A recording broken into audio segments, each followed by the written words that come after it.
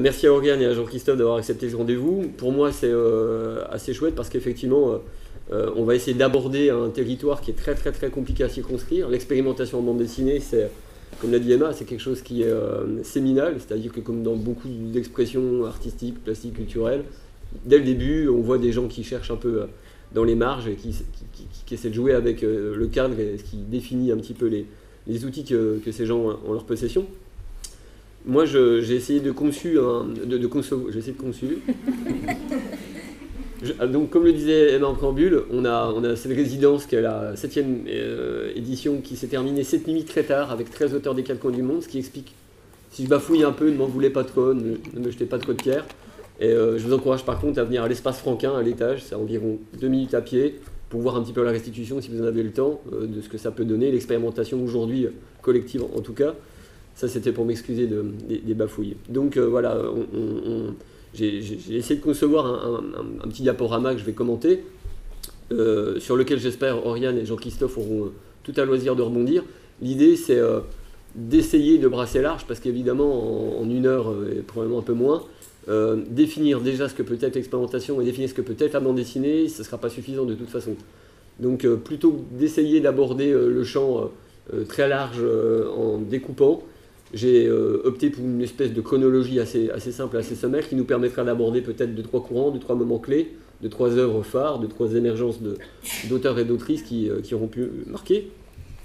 Donc, euh, donc, donc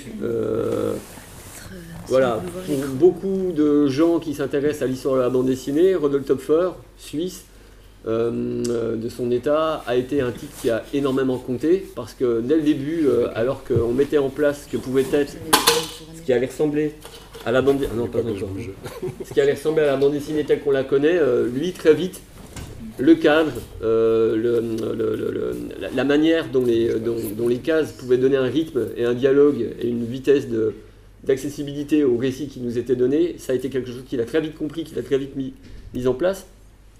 Euh, et très vite, graphiquement aussi, c'est-à-dire qu'il aurait pu se contenter de jouer avec l'ellipse, qui est, comme vous savez probablement, cette espèce de notion un peu vague, mais qui représente un peu finalement l'essence de ce que pourrait être la bande dessinée. Qu'est-ce que le lecteur va projeter entre deux cases, deux cases? Comment une séquence se construit euh, en faisant appel à ce que le lecteur va, va directement relier entre les deux? Bon, bah, lui, très vite, euh, c'est quelque chose qui, comprend, avec lequel euh, il s'amuse très très rapidement. Comment on fait? Si vous avez quelque chose à ajouter, vous, vous intervenez ou je passe Rien à dire sur le Topfer pas, pas, de prime abord à 10h30 un jeudi matin. Euh, il y a deux trois fantaisies qui apparaissent assez vite, qui ont l'air d'être de fantaisie, mais qui sont le fruit d'un sacré travail.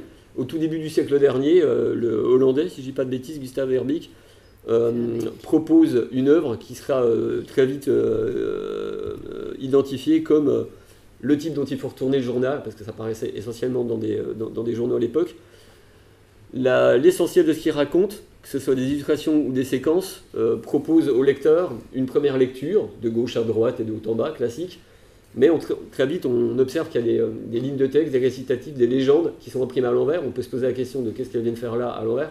En fait, on se rend compte que lorsqu'on retourne le journal, une deuxième histoire nous est donnée. Alors évidemment, graphiquement, il y a des limites sur euh, ce qu'on peut faire de cette manière, mais il y avait quand même des, espèces de, déjà d'étincelles de qu'est-ce que peut proposer la bande dessinée? Est-ce que c'est vraiment un format fixe dans lequel il doit se passer quelque chose de très linéaire ou est-ce que c'est au contraire quelque chose avec, avec lequel on peut jouer?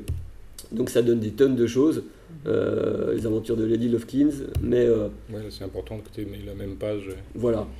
Là, on voit vraiment la, date, 1904, euh, voilà, c'est le New York Herald. Et puis, bah, voilà, les lecteurs pouvaient retourner la page et vraiment voir se dessiner un autre récit avec un autre texte. Le texte suite, en fait. C'est une histoire en deux étapes. Euh, et on a la deuxième moitié quand on retourne. Et en fait, on voit que tout a été conçu pour être lisible dans les deux sens. Euh, le chapeau du premier personnage devient la jupe de, de, de l'autre. Euh, et, et c'est remarquable d'inventivité parce qu'il faut vraiment chercher qu'est-ce qui va fonctionner à l'endroit et à l'envers sans divulguer dans une première étape ce qui va se passer. Et donc on a toujours la surprise d'avoir cette espèce de, poisson qui devient euh, un, oiseau, et il y a des pages vraiment incroyables, et, on a toujours la surprise de, la deuxième moitié en retournant le livre. Et donc ça, ça a 110 ans, c'est quand même intéressant à noter. C'est clair. Donc c'est évidemment beaucoup plus facile à imaginer sous la forme d'un dessin simple, ce qu'il a fait. évidemment, là on voit l'oiseau qui tient la bestiole dans son bec, qui tient bien sur ses, ses pattes, et lorsqu'on tourne le dessin, ça devient une île avec une espèce de grosse carpe, avec un petit canoë, etc. Bon bah voilà.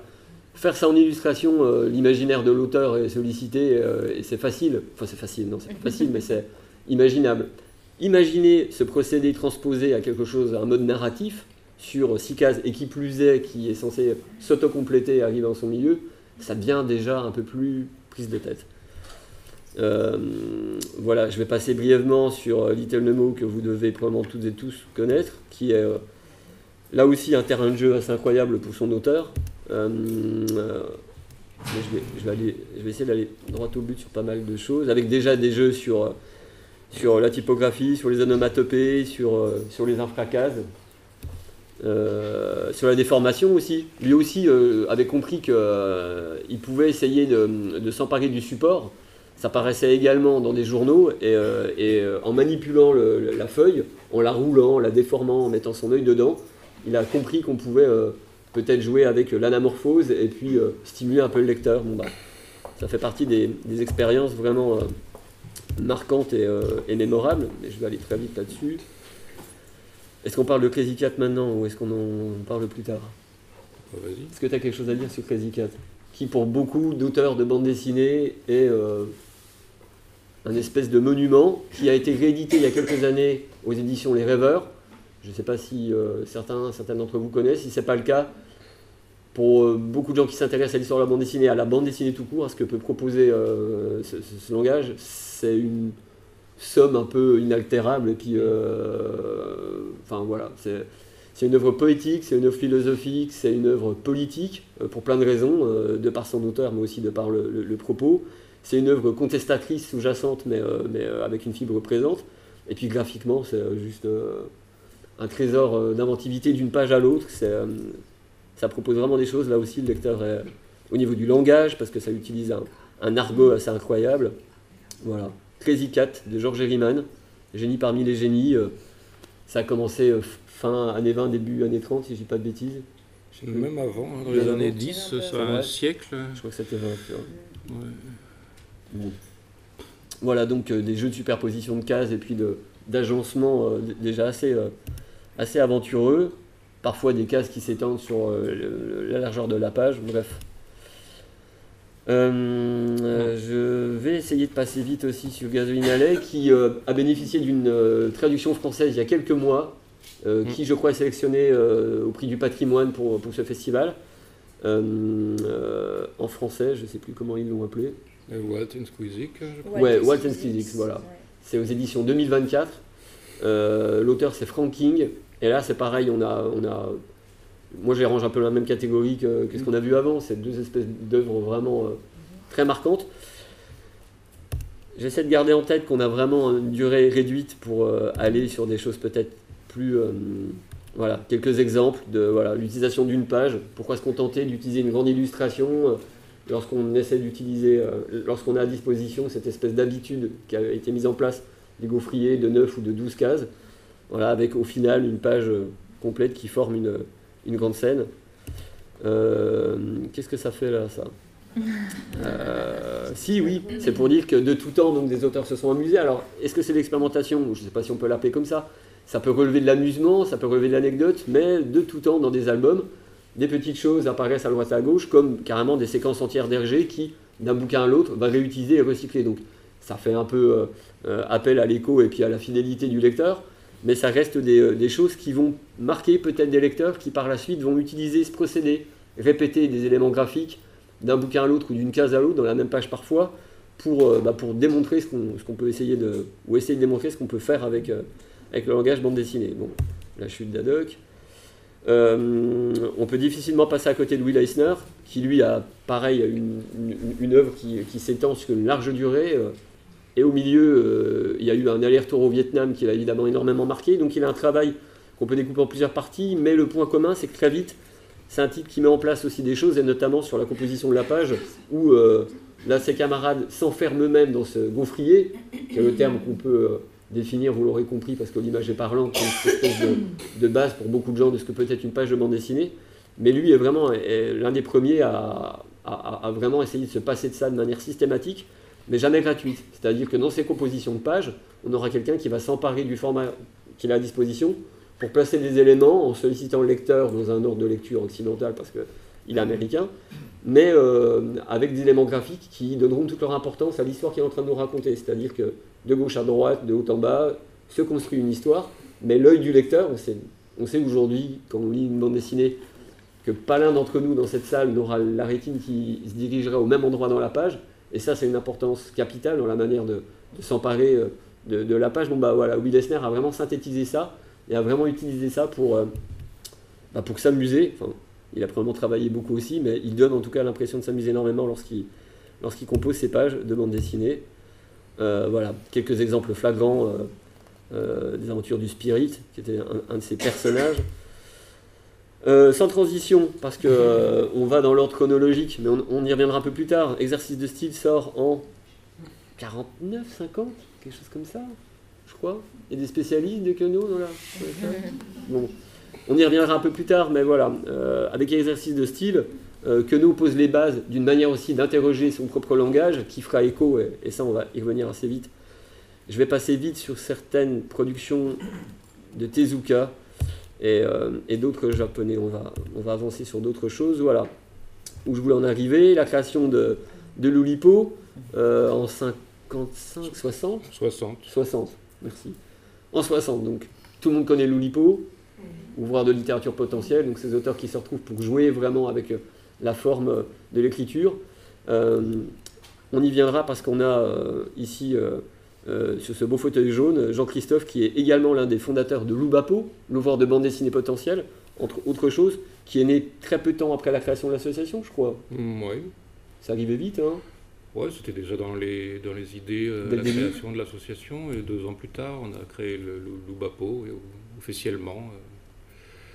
On demande l'autorisation au, au Zoo Expo, la grande. Voilà. En 92. 92. Je vous ai préparé un petit diaporama de ce que Loubapo a pu euh, produire de, de plus euh, peut-être euh, démonstratif, on va dire. Je passe assez vite là-dessus, parce que je vois l'horloge et je suis déjà en panique, alors que j'ai l'impression qu'on ne fait que commencer. On ne peut pas passer à côté d'un type comme Fred, tout le monde connaît Philémon, euh, qui lui aussi, à sa manière, a énormément euh, apporté à la manière dont on pouvait raconter une histoire. Bon voilà, si vous connaissez Philémon, je passe vite sur la, fantaisie totale qui, euh, abreuve chaque case, chaque page, mais avec une manière aussi de, de jouer avec bah, notamment la composition des pages et le sens de lecture. quand le lecteur arrive sur une page comme ça, on peut légitimement se dire on va commencer de gauche à droite et de haut en bas, mais très vite on se rend compte que naturellement un double sens de lecture se met en place et si on suit le personnage qui descend, on se retrouve là à aller dans, dans le sens inverse ou à prendre la page un peu. Voilà. Ça sont des bases quand même assez, euh, assez marquantes. Et, euh, et euh, voilà, j'ai un peu honte de, de, de, rester que quelques secondes sur ce genre de. On pourra dépasser un petit peu. on pourra dépasser un petit peu, super. Gottlieb, voilà, qui lui aussi, à sa manière, a, a, tenté pas mal de choses. Donc ça, c'est les fameuses séquences dites de la girafe qui est euh, quelque chose qui a marqué pas mal de, lecteurs à l'époque, où lui aussi euh, se joue de, la gouttière, cet espace qui, euh, relie les cases, et dans lequel lui essayait de montrer qu'on pouvait projeter des choses, et puis une mise à distance entre le, lecteur et l'auteur qui interroge en, brisant le, troisième mur, comme on dit, le quatrième mur, parce que trois ça fait pas assez. Les jeux d'onomatopée, etc. Je vais quand même aller assez vite là-dessus. Donc Pérec, La disparition, tout le monde connaît, un livre entièrement composé sans la lettre E, du titre jusqu'à la dernière ligne, euh, avec, euh, surtout un contenu euh, qui fonctionne. Parce que l'expérimentation, c'est joli, c'est beau, parfois ça donne des résultats, puis parfois ça montre des limites. Et il y a des gens qui ont réussi à pousser ces limites au point d'écrire un roman entier avec une contrainte plutôt, plutôt solide.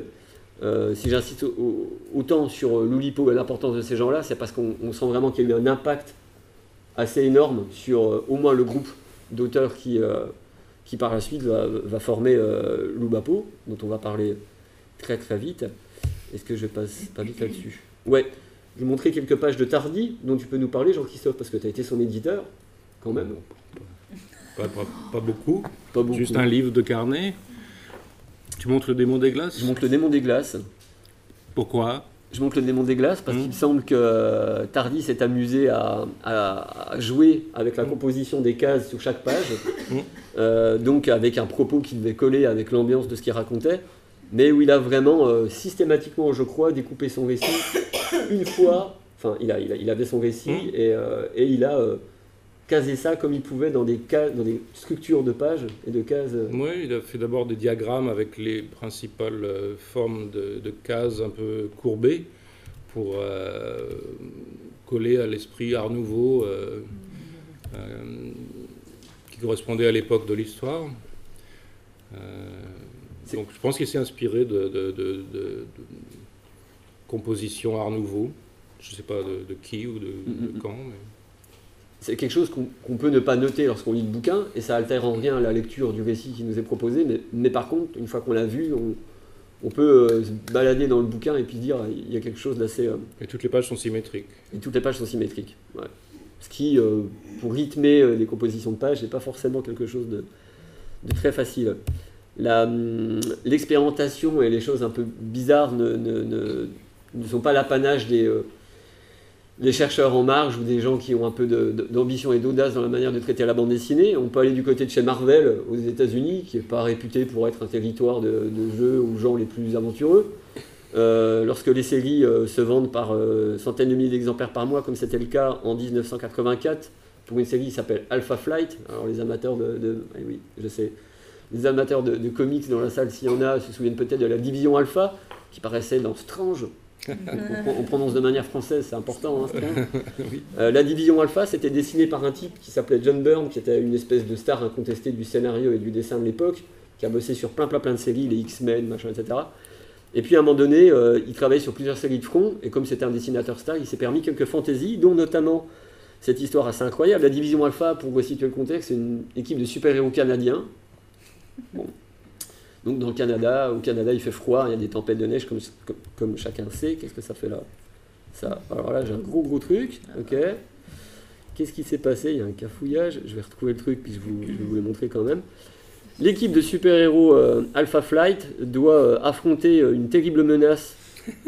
là je cherche mon truc, ça se voit. ok, on va faire autrement une terrible menace, merci de faire durer le suspense. J'attends que tu complètes. Je sais pas ce qui se passe, ouais. J'ai malheureusement pas lu. Euh. Une terrible menace qui est, j'y arrive, je sais pas ce qui s'est passé, c'est très bizarre. On va la trouver la menace. Qu'est-ce qui se passe? C'est très bizarre. Ok, bon. On Jette un œil dans la poubelle au cas où. Ouais, ça va. Moi, je vais, montrer, je vais les montrer comme ça, d'accord? Ne regardez pas les petits icônes autour, c'est pas très intéressant. On a une super héroïne qui s'appelle Arfang qui se bat euh, avec une créature qui donc convoque une tornade. Et en fait, l'intégralité du récit se passe dans la tempête de neige. Donc euh, il y a un découpage, ça se passe sur plusieurs pages, comme ça. Donc c'est tout, tout un combat. Il faut imaginer la, la, tête des minots de 12 ans qui allaient chercher leurs comics mensuels avec impatience et qui tombaient sur plusieurs pages blanches d'affilée avec quelques onomatopées et la frustration qui en témoignait. Mais à l'époque, c'était quelque chose qui a, pas mal marqué. C'est une version intéressante du coup du, tunnel aussi, parce qu'on a pas mal de bandes dessinées où genre euh, en deux pages, euh, on a du noir parce que les personnages sont dans un souterrain ou dans un tunnel. C'est ça. Ouais, voilà. On, appelle ça un truc pour euh, gagner du temps. Quand, on a des pages à rendre en retard, on imagine tout de suite les personnages dans un tunnel ou une explosion. Voilà. Donc là, après plusieurs pages Je ne connaissais pas la tempête de neige, j'ai ouais. mal. Après plusieurs pages de baston intense, on imagine qu'elle est intense en tout cas, la gentille gagne, le méchant meurt enseveli et puis euh, le climat, euh, le temps redevient. Voilà. Donc on va se remettre dans cet ordre-là parce que j'ai un gros problème avec, je ne sais pas ce qui se passe, mais c'est pas très très grave. Donc voilà, on en était là à Tardy et puis après voilà. Donc ça c'est par exemple justement ah les constructions des, planches en question. Oui, désolé pour le petit euh, aller-retour Tardy, division alpha. Euh, on peut parler d'Archspiegelman, alors là, ça, ne va pas s'afficher très gros. Euh, Archspiegelman, qui est connu pour Mouse, évidemment, et pour plein d'autres bouquins, est un titre qui lui aussi a passé énormément de temps à, jouer avec, avec la bande dessinée et à, tenter des choses. Donc ça, ça date de 76 quand même. Et c'était déjà une, synthèse de pas mal de choses, c'est-à-dire qu'il allait chercher, il, s'est constitué un corpus de vignettes extraites de bandes dessinées un peu importantes de, l'histoire du, c'est pas très grand, hein, je suis désolé, on va trouver une solution, du, comics américain, et en s'inspirant de, vignettes, il va les réutiliser et les recadrer dans des pages qui font finalement, euh, euh, après coup, pas mal penser à ce que Richard Maguire a fait avec euh, Ici, qui, était, qui, a été publié il y a quelques années chez Gallimard, Mm. Et euh, sur lequel on reviendra d'ailleurs, parce que ça aussi, ça mériterait une, une conf de 3 heures pour ça. Mais euh, voilà, donc Archspiegelman. Bah, c'est il est intéressant cet exercice parce que c'est, on, appelle ça l'expansion en langage oubapien et en fait c'est du collage. Mais ah oui, c'est tout petit. Ouais, c'est tout petit. Donc on, alors Spiegelman, ce qui est intéressant, c'est que un peu comme euh, Loubapo, il n'avait pas besoin d'expérimenter une contrainte pendant des années. Pour, euh, bon, là, il y a deux pages, mais il a posé le truc et il est passé à autre chose. C'est un peu ce qu'on fait avec Loubapo en définissant une structure. Une structure et un exemple, ça suffit. Après, tout le monde peut s'en emparer. Euh, et donc là, il a pris des, des, cases d'un vieux soap opéra insipide dans, la presse. Et puis il a dessiné ce qui se passait autour, évidemment en subvertissant l'histoire euh, à l'eau de rose qu'il pouvait avoir dans les cases. Et donc le hors-champ qu'il a dessiné euh, fait une autre histoire et, donne une orientation complètement différente à, l'objet de base. Voilà. Et ce genre de choses, bah, c'était essentiel pour la fondation de Lubapo. Donc les, les, petites histoires expérimentales de Spiegelman sont réunies dans un livre qui s'appelle Breakdowns et qui pour nous est aussi important que Mouse. Et puis euh, voilà, ce genre d'attrait de, pour les choses un peu curieuses, euh, ça se retrouve aussi dans une initiative éditoriale qu'il a menée avec, euh, avec sa femme, Françoise Mouly, avec le magazine Raw. Donc le premier numéro est paru en quoi 80 80. 80, voilà. Qui était un magazine qui était qualifié un peu de tous les noms, avant-gardiste, expérimental, machin, etc. Mais dans lequel on retrouve des tonnes d'autrices et d'auteurs qui aujourd'hui sont devenus, pour l'essentiel d'entre eux, des gens qui comptent énormément dans ce que proposer la bande dessinée. Mm et, euh, et dans lesquelles il y, avait énormément de pages qui, qui étaient l'expérimentation pure et dure, quoi, vraiment, euh, euh, et, qui ont marqué donc une génération de lecteurs. On imagine que dans les années 80, les gens qui tombaient là-dessus et qui avaient une envie de faire de la bande dessinée pouvaient être considérablement marqués. Je passe vite sur Franquin, là aussi, sans en avoir l'air, on, connaît tous Franquin, on connaît probablement presque tous et tous Idée Noire, qui est un de ses bouquins marquants aussi, il n'y a pas eu que Gaston, mais il y a parfois aussi des, surprises assez incroyables dans sa manière d'envisager euh, euh, la composition de certaines, certaines, certaines pages. 79, euh, Robert Crumb, c'est une petite séquence qui a l'air de rien, qui est en 4 pages. On sait que Crumb est un nostalgique, au point parfois où il peut être aussi un sacré réac, mais c'est un, autre débat. Mais Chrome a été capable de faire des choses assez. Comment? Un réac Sur certains trucs, quoi. Non. non, C'est un autre débat. C'est un autre débat Tu dis ça parce qu'il n'aime pas le synthétiseur J'aime pas le synthétiseur non plus. Cette séquence part d'un principe assez simple euh, d'apparence. Euh, c'est le même angle de vue, vous l'aurez compris. Et, euh, et, le temps passe, voilà. Le temps passe et l'homme fait son œuvre pour le meilleur et pour le pire. Au début, la petite euh, clairière, euh, voilà, le petit train, euh, la première voiture, ce qui ressemble à une route, et puis petit à petit la patte de l'homme et la technologie, le plastique, la pollution, etc. Bon, c'est une, c'est pas une manifestation d'expérimentation incroyablement choquante, mais on est déjà dans, on cherche quelque chose à faire de différent et puis de, s'emparer de de, de, de, ce que la page peut proposer tu voulais revenir là-dessus, sur Chrome, Oriane? Non, mais il y a un dispositif qui est simple et qui dit beaucoup de choses, c'est ça qui est intéressant. C'est ça. Il n'a pas besoin de faire un commentaire euh, Exactement. élaboré. Le temps passe, sans pour autant qu'on voit les années. Euh. Mhm.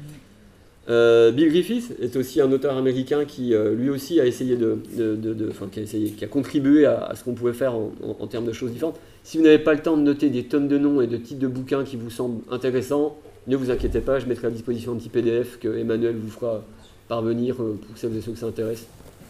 Certaines, certains d'entre vous étaient là l'an dernier pour la, rencontre sur la bande dessinée du réel. Je ne sais pas si vous aviez tous eu accès à ce document. Que j'avais fait parvenir après. Non, peut-être pas. Bon, j'espère que celui-ci, ce mhm. sera le cas. On fera en sorte que, en tout cas. Euh, Bill Griffith, voilà, contrainte simple, enfin simple, simple à l'énoncer. On utilise la largeur de la page pour faire une case, et puis après, on divise. Donc, on commence avec une case, puis deux, puis trois, et puis, etc. Bon, voilà. Évidemment, l'idée, c'est que le récit colle avec les formats des cases, sinon, ça a une importance euh, euh, Euh, et, c'est le cas. Le propos du récit se centre et zoome de plus en plus sur. sur bah voilà, je, vous laisserai la, primeur si vous lisez le. Voilà, on parlait du magazine Raw tout à l'heure, bah, ne serait-ce que la couverture qui, qui montre. voilà. je passe vite sur tout ça aussi.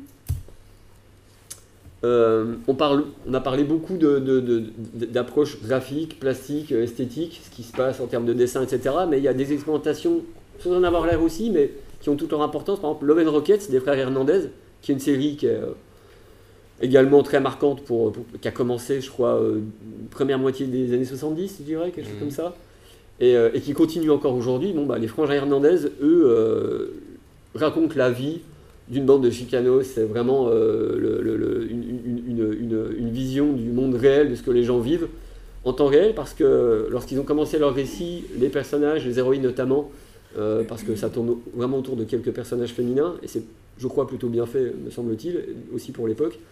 Euh, ces personnages ont 18-20 ballets, sont complètement dans une esthétique punk rock, ça va au concert, euh, ça fait un peu les cons. Euh, il y a une espèce d'énergie de la jeunesse, et puis petit à petit, le récit se pose un peu parce que les personnages vieillissent tout simplement. Donc le récit a commencé il y a, une 40, il y a plus de 40 ans, il y a, bientôt 50 ballets que Love and Rockets existe, c'est pas possible. Et euh, bah, les personnages ont vieilli, certains sont même morts, certains sont, certaines sont même mortes, et le récit a jamais cessé d'être en connexion vraiment avec le monde qui nous entoure et, le temps qui passe. Ça, on le voyait à l'œuvre dans Tintin, par exemple. Mais il y avait un, espèce de, une espèce de, contradiction. Dans Tintin, euh, le décor change, on voit les téléphones qui évoluent, les automobiles. Les personnages, par contre, ont le même âge, du début à la fin, je crois, à peu de choses près, si je dis pas de conneries. Ben, oui. On a l'impression ils ne changent pas physiquement. Ils changent pas physiquement. Là, dans Love and Rockets, les gens vieillissent, n'ont pas peur de vieillir, et c'est aussi ça qui en fait une série qu'on n'a pas envie de lâcher quand on l'a commencé, parce que on est vraiment connecté avec une espèce de réalité. Dans Gasoline Alley, que tu as cité tout à l'heure aussi, les personnages vieillissent, je crois que c'est le premier qui a fait ça. Tout à fait, ouais. Frank King, et euh, donc les personnes. Il, recueille un, Le héros récupère un, bébé trouvé, et le bébé va grandir et devenir un adulte. Absolument, au fil des pages.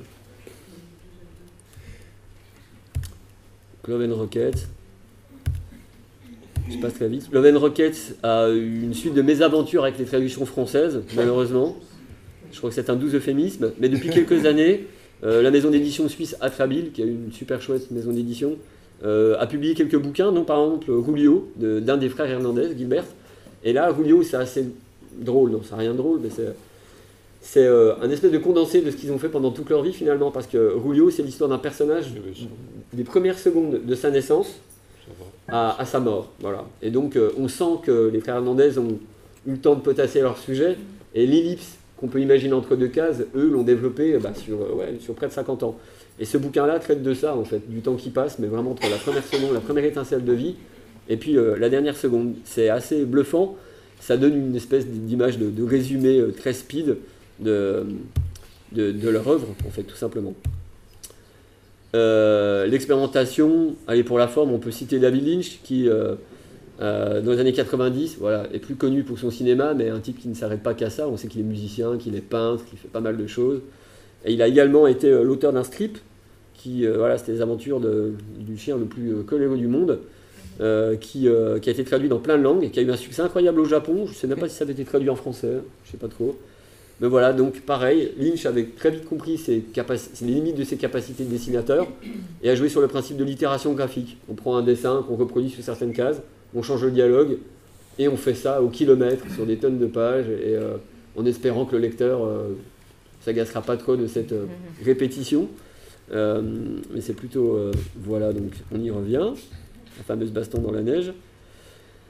on aurait pu parler de Watchmen, mais on va essayer de conserver du temps pour des sujets. voilà, Watchmen qui fait quand même figure, qu'on le veuille ou non et qu'on l'apprécie ou non, de marque assez importante dans l'histoire du comics, en tout cas américain, même si euh, ces deux auteurs sont anglais. en termes de, de, bande dessinée méta, comme on pourrait dire, parce qu'elle se nourrit elle-même de tonnes de choses qui se nourrissent d'elle-même. À un moment donné, je crois qu'il y a cinq récits, vous savez, comme les poupées russes, quoi. On, lit un récit, je ne sais pas si vous avez lu Watchmen ou...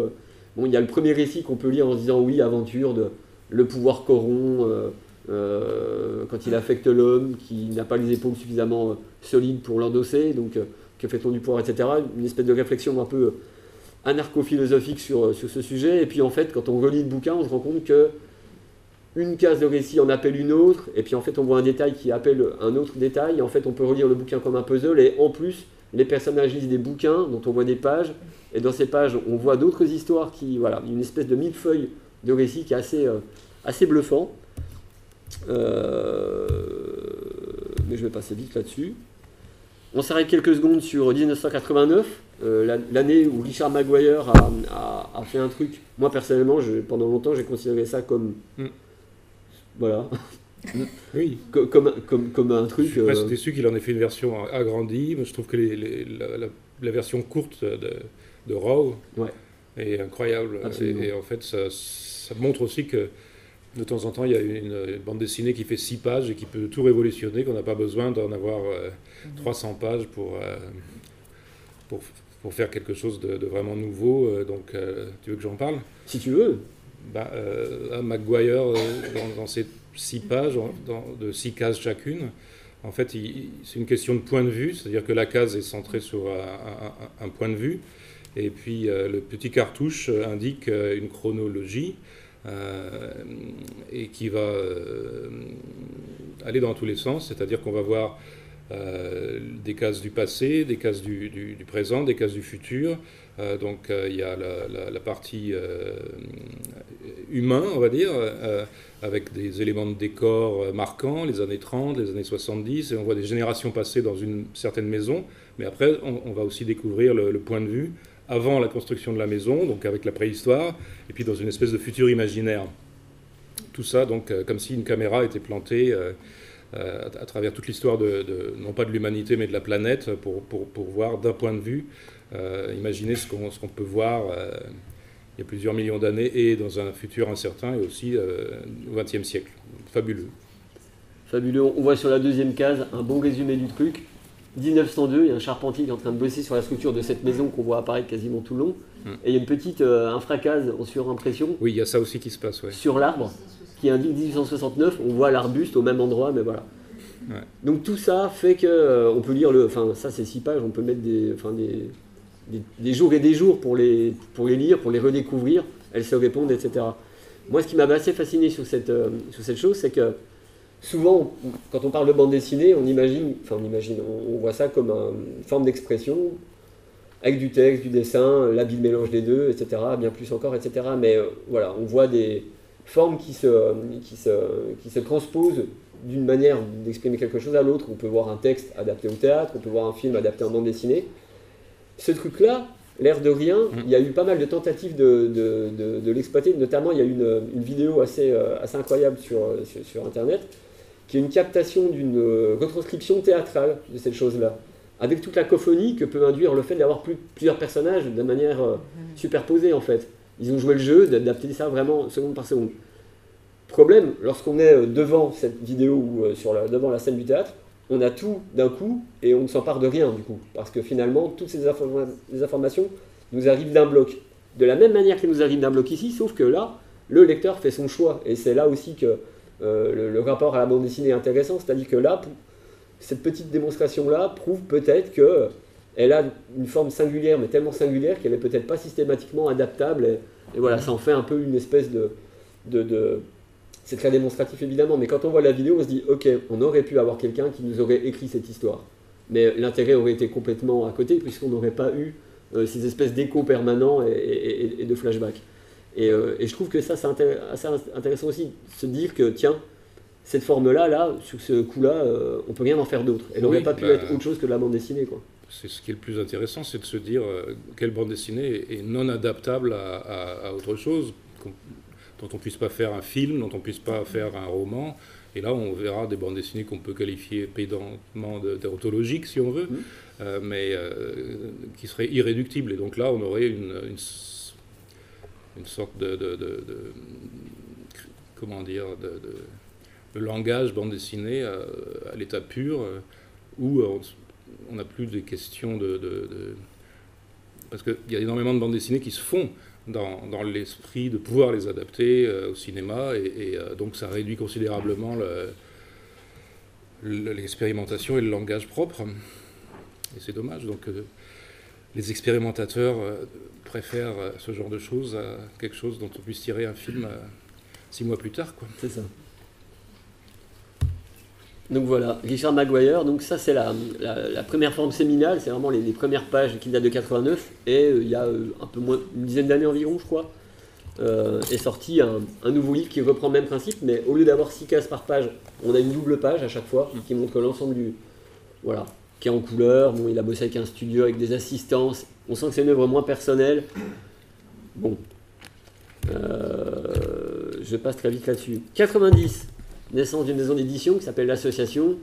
Alors voilà, on va pas refaire l'histoire de l'association, vous la connaissez. Euh, euh, mais Jean-Christophe a été, même si l'association euh, est, née de la rencontre d'un collectif d'auteurs, etc., il a pas eu, on n'a pas attendu longtemps pour, pour, saisir un peu l'importance de, de, ton rôle. Je sais que tu vas faire la grimace, etc. Mais ouais. Le, ouais, voilà, voilà, on va passer vite là-dessus. Mais on sait que la plupart des initiatives marquantes publié par cette maison sont l'initiative de ce type à ma droite et devant vous. Euh, je ne vais pas dérouler tout le catalogue, mais pour les lecteurs, les lectrices de bande dessinée dans les années 90, avoir cette maison d'édition en France, c'était euh, incroyablement euh, génial, tout simplement. alors voilà, ça, ça n'a rien à foutre là. Mais donc, on s'était dit qu'on allait évoquer un petit peu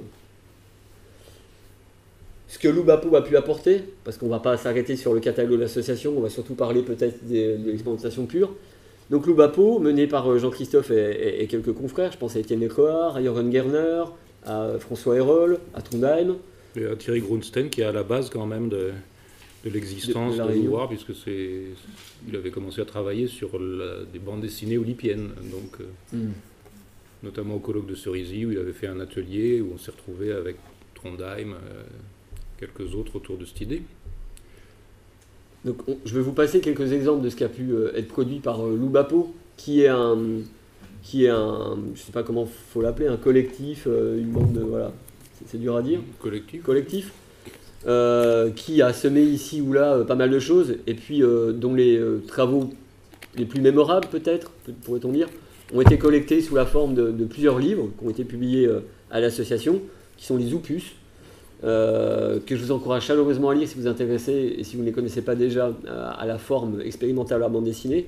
Là, par exemple, on a des, planches de Benoît Jacques, euh, voilà, qui, est un, monsieur qu'on connaît pour, son boulot et pour être aussi son, propre éditeur, de la plupart de, ses bouquins en tout cas, qui, lui, voilà, vous l'aurez compris, découpe des notices pharmaceutiques, je crois, glanées dans des vieux magazines et qui l'assemble en, en recomposant le dessin autour. Évidemment, l'idée, c'est de composer une histoire donc il va, il va développer ça sur, plusieurs pages.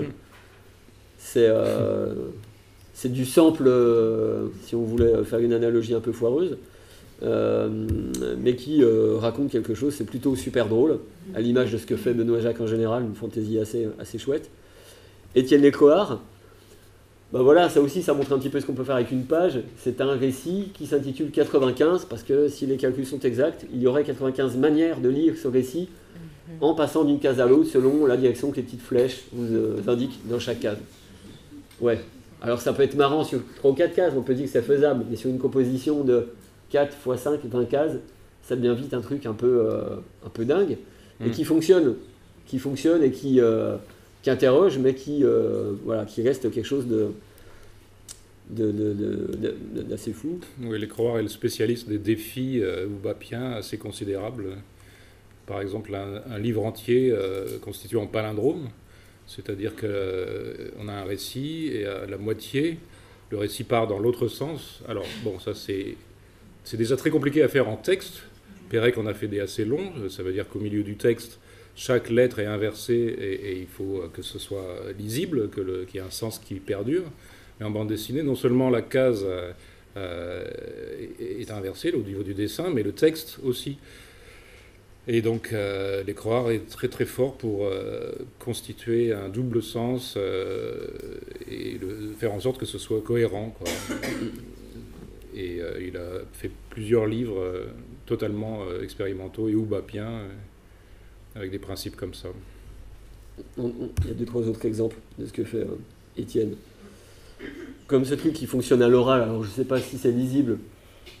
En fait, le dialogue entre deux personnes qui partent en vacances, un couple qui part en vacances, avec euh, le, personnage masculin à gauche qui euh, s'adresse à sa femme et sa femme lui répond à chaque fois avec des mots courts, des onomatopées, c'est vachement dur à raconter en fait, ça se lit. Mm. Mais si on lit à voix haute ce que répond la femme d'une case à l'autre, on obtient quelque chose qui devrait euh, peut-être être un peu plus voilà.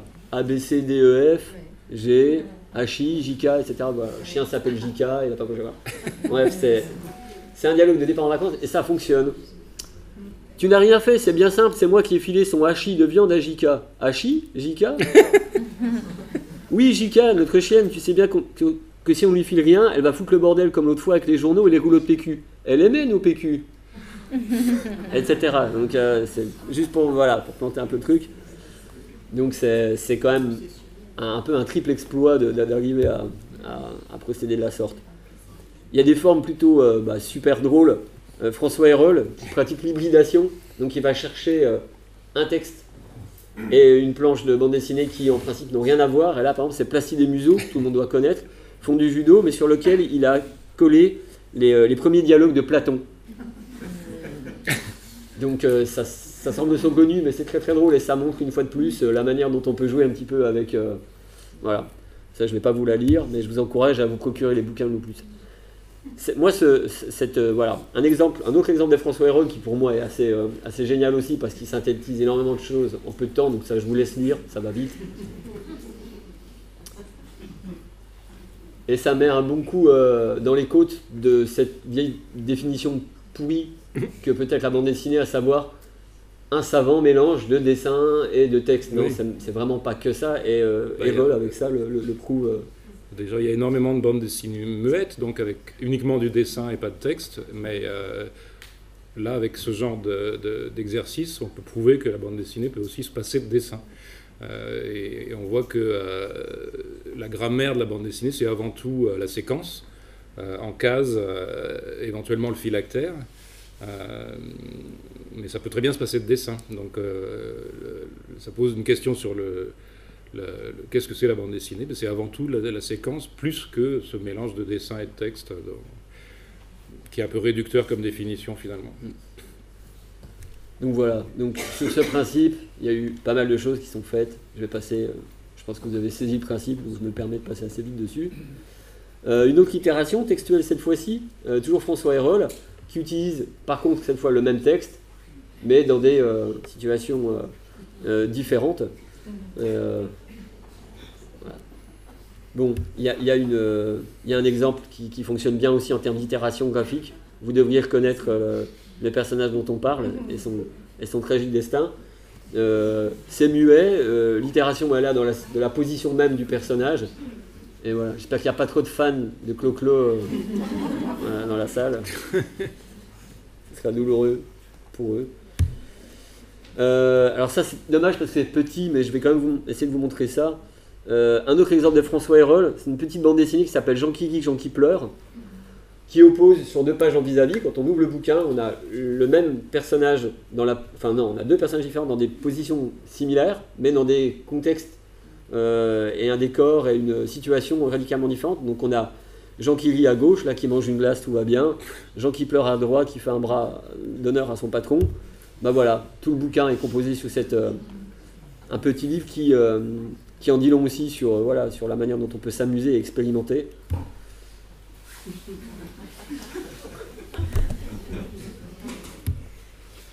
Tiens, c'est un peu d'actualité. Là, il y a Jean qui rit à gauche en salle de bal, et puis Jean qui pleure à droite qui s'apprête à. Voilà. Et voilà comment ça finit. Pour Jean qui pleure, bref. Euh, bah voilà, on parlait de Jean-Christophe parlait de palindrome, en voilà un. Euh, une histoire qui commence en première case et qui, dans sa case centrale, repart en sens inverse, mais en utilisant à la fois le même texte et le même dessin. Donc c'est tout de suite un peu compliqué. On observe que cette case-ci et cette case-ci sont les mêmes, etc. Et puis on repart à l'envers comme ça. Donc ça c'est pareil, c'est des petits euh, espaces de récréation mentale assez saugrenus, dont, dont, les auteurs de Loubapo semblent avoir le, le secret. Euh, Erol a pratiqué la réduction, mais la réduction vraiment réduite, en réduisant des albums de Tintin entiers à, deux cases, en fait. par exemple, voilà, Tintin au Tibet, Chang, mon pauvre Chang, Chang, mon pauvre Chang, etc. Mon préféré étant euh, peut-être la Castafiore, qui est, quand même assez, assez réussi. Voilà. C'est génial, tac, tac, tac, tac. Si je pouvais raconter tout ce que j'ai vu, on ne me croirait pas. Et puis surtout, Tata au Congo, et eh ben voilà, j'ai loupé mon effet d'annonce parce qu'il n'est pas là. C'est dommage. Il est peut-être un peu plus loin, mais il est très bien. On voit Tintin avec son fusil euh, qui tire euh, euh, en disant, je sais plus, je sais plus ce qu'il dit. Bon, Mais c'est d'une tristesse inouïe, mais c'est assez, ça marche bien. Je passe très vite sur cette réduction de Proust à la recherche du temps perdu par François Hérol en six cases. Ceux qui sont arrivés au bout comprendront pourquoi beaucoup de descriptions, beaucoup de détails dans le décor, etc. Et c'est plutôt. Ah bah voilà. Et voilà l'Afrique, mon brave Milou. C'est l'expérimentation en BD parce qu'à l'épuiser dans le corpus de, dans, ce qu'on peut trouver d'existant dans la bande dessinée pour essayer de jouer avec et d'en tirer quelque chose, c'est euh, quelque chose qui, euh, qui, caractérise un petit peu les, bah voilà, une autre, une autre euh, réinterprétation consécutive.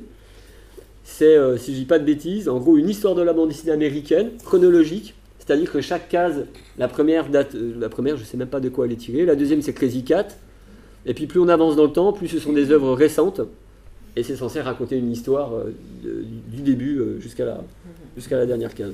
Avec des souris. Avec des souris. J'étais passé à côté de cette contrainte supplémentaire. Ouais. voilà. Bon, ça c'est drôle. C'est François Hérol aussi. Certains d'entre vous connaissent Certains d'entre vous connaissent euh, substitution textuelle, comme tout à l'heure avec les dialogues de Platon euh, sur euh, Placide et Museau. Là, c'est Michel Vaillant qui essaie de bande dessinée, on peut le dire entre nous parce que l'auteur n'est pas là, qui est quand même assez sinistre en termes de rigidité cadavérique des personnages, qui sont tous assez figés, qui n'expriment pas grand-chose. On aime ou pas les récits de pilotes automobiles, ça, c'est pas un jugement de valeur mais la manière dont les récits sont faits sont quand même. Voilà. Donc voilà, François Hérol a plaqué des dialogues. Certains effets visuels, vous arrivez à lire ou est-ce qu'il faut que je... Ça va? Bon bah très bien, alors vous avez l'essentiel. Mon visage me fait horreur, je me sens si mal dessiné. Et moi donc, même quand je pleure, aucune émotion ne passe, je sais bien. Voilà. Donc il y, a eu plusieurs pages comme ça, euh, voilà. Euh, c'est plutôt très très très très drôle. Il a fait ça sur plusieurs pages. Ça aussi c'est dans l'un des opus. Euh, si je dis pas de bêtises. Euh, voilà. Lewis Trondheim et Jean-Christophe Menu. Tu veux nous raconter la genèse de, ça? Moins d'un quart d'heure de seconde pour vivre, qui est un bouquin qui a été publié en 91 Oui, bah c'est. Comment dire, le, tout début de Lewis, quand il faisait justement que de l'itération avec notamment Le Dormeur, un livre entier avec une seule case à peu près au même moment que David Lynch faisait le strip qu'on a vu tout à l'heure, mais sans, sans, savoir. Et euh, je lui avais proposé de faire euh, un récit euh, avec des cases à moi. Donc j'avais dessiné quatre cases et, il, a, il, a, créé un certain nombre de strips avec quatre cases. Ensuite, on a, a rajouté quatre pour qu'il y en ait huit et il s'est arrêté à 100 strips, mais ça a constitué un des premiers livres de l'association. Donc c'était même avant que Loubapo ne soit officiellement créé. Et voilà, c'est un pur, livre euh, d'itération euh, iconique euh, de bande dessinée. Moi, j'avais créé des cases vraiment aléatoires, un personnage devant un rocher, un crapaud sur un nénuphar, sans faire le lien, mais c'était à, Trondheim après de, de, constituer un univers et de faire le lien entre, entre toutes ces cases, de relier, on peut dire topographiquement un peu des, des éléments qui, euh, avant qu'il le, le, texte, n'avaient aucun lien entre, entre elles. Combien de pages au final, tu dis? Combien? 100 strips de 4 cases qui sont assez métaphysiques. toujours dans Loubapo, euh, Joren Gerner, avec des, jeux de support, euh, notamment ce, pliage, une séquence de 12 cases, hmm.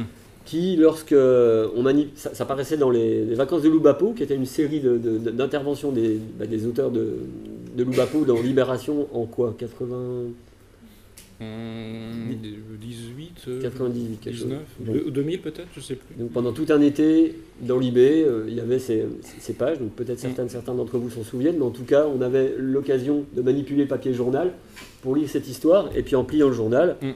en reportant la séquence du bas au milieu, en la pliant en son centre, on avait euh, la, le le début, enfin tout ce qui se situe au-dessus, bon vous avez compris ce que j'essaie d'expliquer, tout ce qui est au-dessus euh, jouxte ce qui est en bas euh, et, compose une nouvelle histoire. D'ailleurs les phrases sont coupées de manière à ce qu'elles se complètent également elles aussi.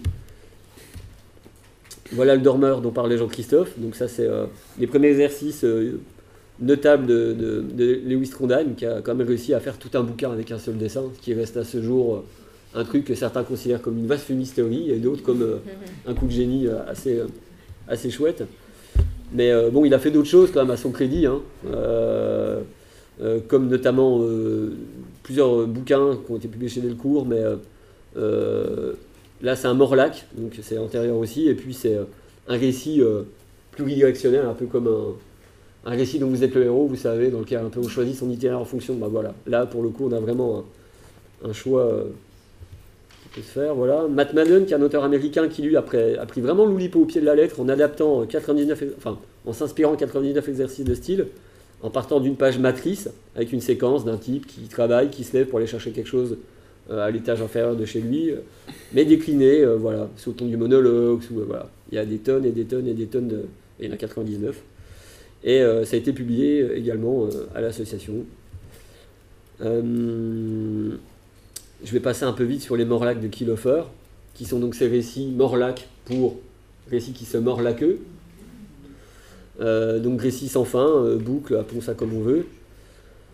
Euh, je passe vite aussi sur ces choses-là, j'aimerais parler un petit peu du reste aussi. on peut parler de l'expérience de Anne Barraou et Vincent Sardon, qui est un objet, objet qui explore aussi ce que peut proposer le strip de trois cases en bande dessinée, avec ce principe de dé, et Bon, je suis jamais allé jusqu'au bout, je n'ai jamais tenté, mais en théorie, euh, peu importe le lancer de, de dés, on a une séquence qui se tient en trois mmh. cases systématiquement. Euh, donc c'est pas si facile d'imaginer de faire des choses pertinentes. On peut faire des choses assez gratuites en disant euh, des choses vraiment réduites. Alors, euh, alors pour son congru, là, il y a, y a, des récits qui se mettent en place avec des éléments vraiment qui, qui importent. Donc encore une parution à l'association. Euh, on parle beaucoup d'esthétique graphique, de dessin, de dessin labeur, c'est du beau dessin, c'est pas du beau dessin. On peut euh, citer euh, King Cat parce que c'est une aventure de fanzine en fait. Fanzine, vous savez, cette publication souvent photocopiée ou imprimée un peu vite fait, qu'on trouve difficilement, c'est pas diffusé, c'est pas distribué, c'est souvent pas immatriculé. Donc ça n'a pas d'existence reconnue et c'est ce qui en fait un super terrain de jeu et de liberté. John Porcellino, c'est un auteur américain qui doit avoir 55 balais qui a commencé dans les années euh, euh, fin 70, début 80 à faire son petit fanzine. Il sortait de, de, fac, petit fanzine dans lequel il commence à exprimer des trucs. Lui aussi s'intéresse à ce que les jeunes de son époque euh, apprécient. Et puis de fil en aiguille, il va développer ça. Le dernier King Cat est, est, paru il y a un mois. Vous le trouverez d'ailleurs sur le stand de l'association Shifumi, pub, du côté de notre expo, parce que c'est un fanzine qui a des décennies d'existence. Le type a été publié à droite à gauche, il a trouvé euh, un toit chez certains éditeurs, mais il n'a jamais lâché cette forme-là.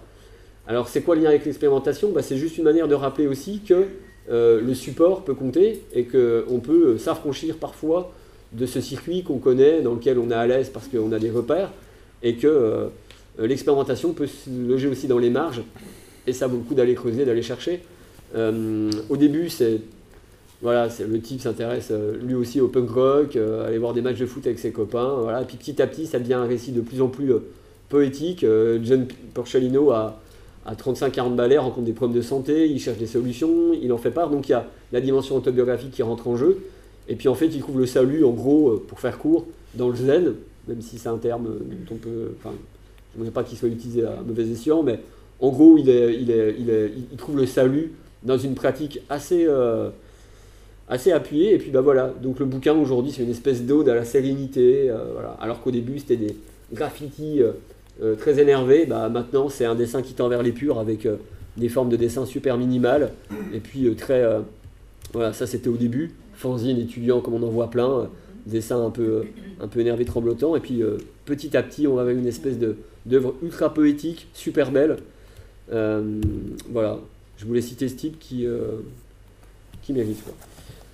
Marc-Antoine Mathieu, qui est peut-être un auteur euh, que certains d'entre vous identifient pour une série de, livres qu'il a fait principalement chez Delcourt, Les aventures de Jules Corentin Quefac, prisonnier des rêves, dont Quefac, anagramme à l'oral de Kafka, parce que c'est l'ambiance Kafka, règne dans les récits de Marc-Antoine Mathieu, où le personnage prend conscience qu'il a un personnage, qui s'adresse au lecteur, etc., avec des fantaisies comme par exemple euh, des, euh, des livres qu'on lit euh, qui ressemblent à un album classique de 48 pages, cartonné couleur, et puis subitement, hop, il y a une perforation dans la page qui laisse entrevoir la vignette qui situera sur la page d'après. Et tout ça sert le récit, c'est-à-dire qu'il l'utilise comme vraiment un élément important de, de, ce qu'il nous raconte. Il a fait pas mal d'expériences dans, dans, dans, ce genre-là. Euh, Comment? On, passe à la table ronde. Allez, on passe à la table ronde. Je passe très vite sur tout ça. Je m'arrête quand même très vite. Emmanuel Guibert a été euh, voilà, le grand prix de cette édition du festival. Guibert, qui est connu pour plein de bouquins, notamment le photographe, qui est quand même un bouquin qui lui aussi lors du côté de l'expérimentation. Je pense que la majeure partie d'entre vous doivent le connaître. C'est un livre qui associe euh, planche contact, euh, tirage photo et bande dessinée.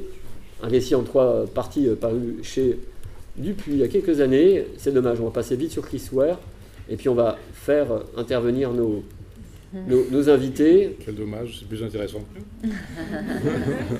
Je pense que j'avais amené pas mal de choses. Bon, je, vois s'il y a pas de position ouais. Allez, on parlera de ça. Après, j'arrive. Euh, ça va vite, il y a plein de choses. C'est frustrant. C'est frustrant, hein. Euh, on va trouver. Tac, tac, tac, tac. J'ai prévu pas mal de choses. Ah la vache Une petite conférence de 5 heures. Ah bah oui, bah du coup, euh, voilà. Non, non, mais en fait, je vais carrément ouvrir l'autre dossier. Il ira plus simple. Par qu'on commence. Est-ce que vous voulez qu'on commence par euh, Oriane, Jean-Christophe? Bah, Chronologique, non? Chronologique? Si tu veux. Je sais pas. Ça va, Jean-Christophe? Oui, bon, ouais. J'ai déjà parlé, Oriane, non? C'est vrai. C'est vrai. Mais tu feras vite, tu seras synthétique.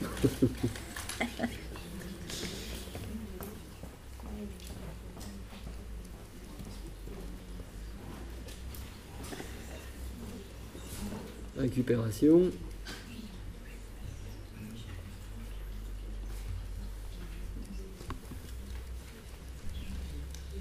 Aperçu.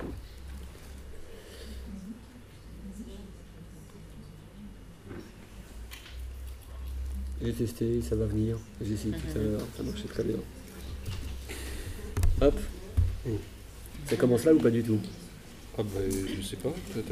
Ouais, ça commence là visiblement. Ouais. Non Qu'est-ce qui se passe? Ben, Je sais pas. Je... Est-ce que. Euh, ouais. On, s'arrête sur. Euh, tu, commentes, tu commentes ton boulot? Tu veux parler un petit peu de ce que tu as voulu faire ou euh, sur cette séquence ou pas du tout? Non? Comment es-tu venu à la bande dessinée?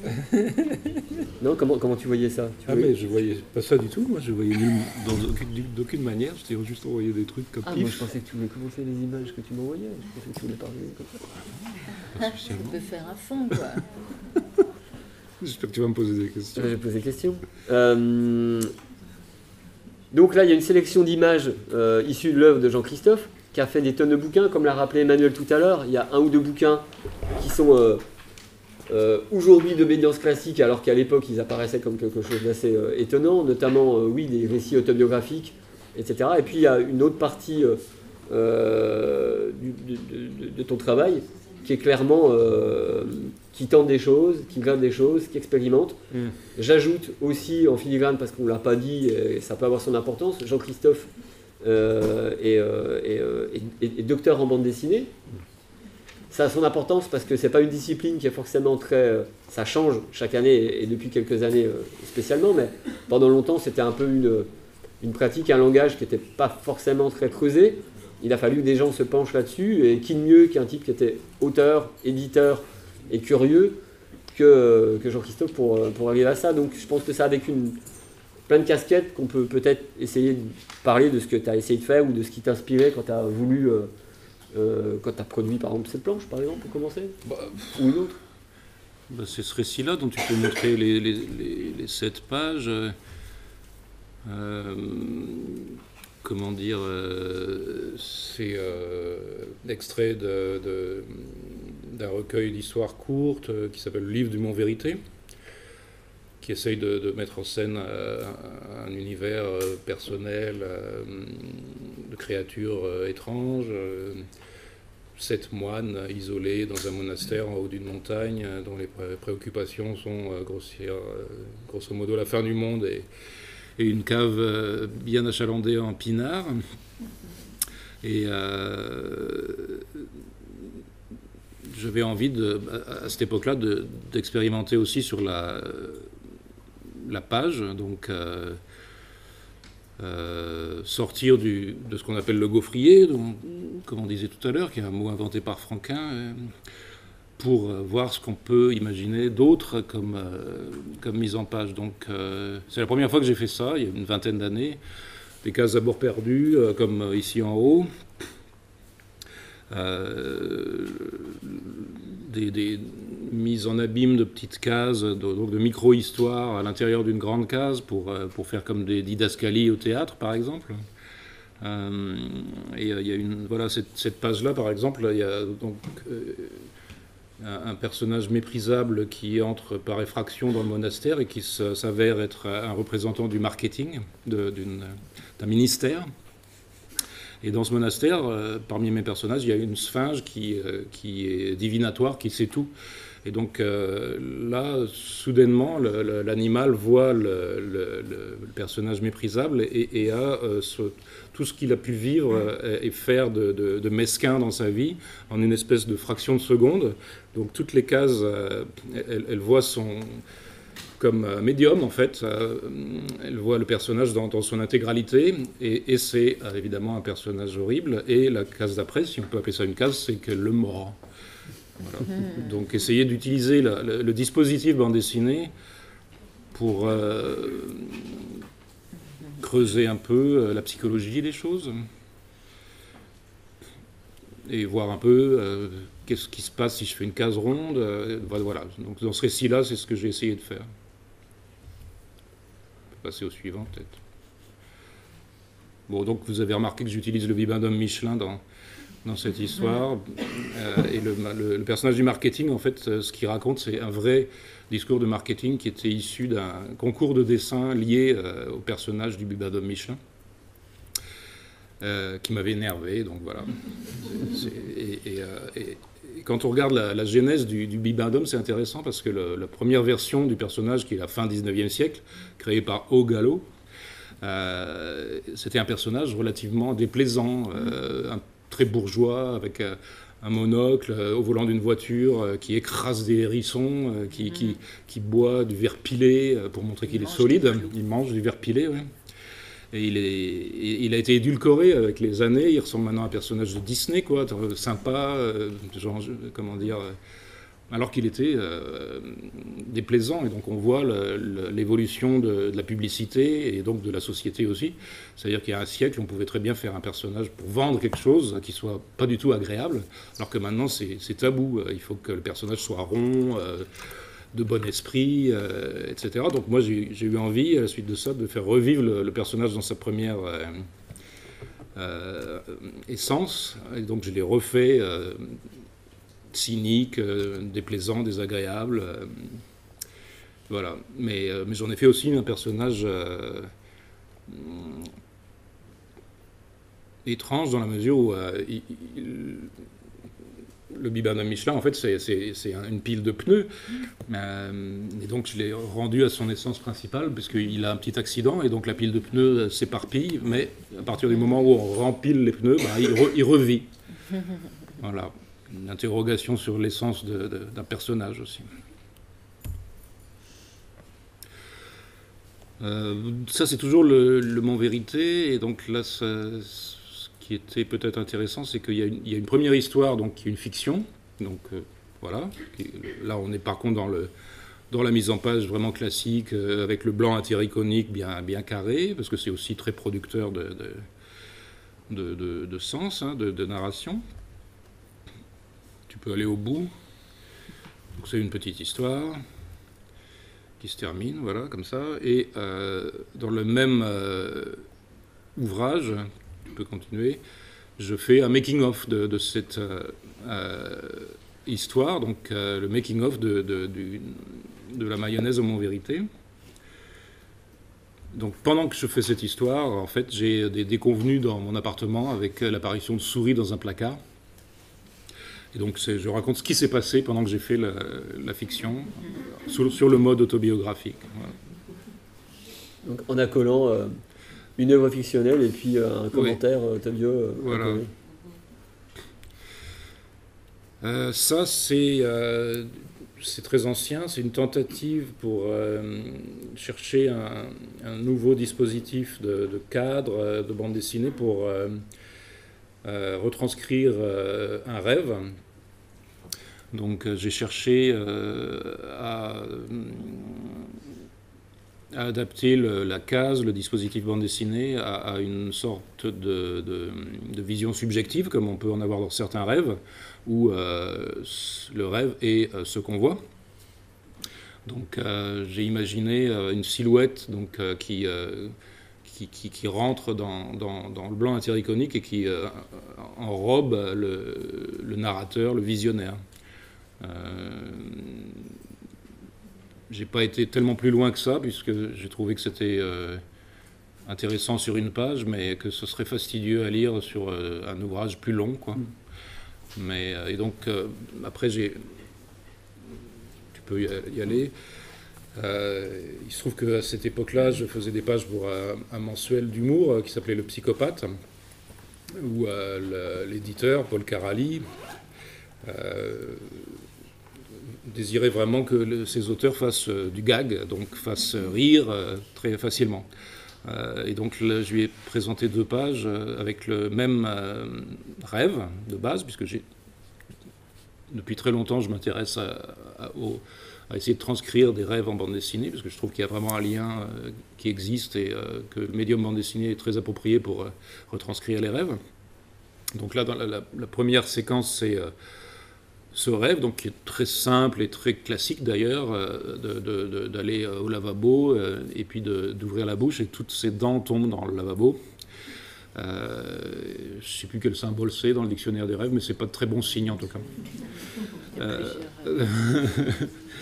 et donc très classique, la narration, le personnage qui rentre par la porte, qui ouvre, voilà, se casse d'après, hop, le, jet de, il se, rince la bouche, et puis il ouvre la bouche et les dents tombent. Voilà. Et donc euh, j'avais représenté un espèce de petit prof euh, avec un tableau noir. Voilà ce qu'on appelle un gag. Ce, gag euh, faisait partie d'un rêve de l'auteur, mais il a dû, pour l'efficacité du gag, supprimer nombreux aspects du rêve.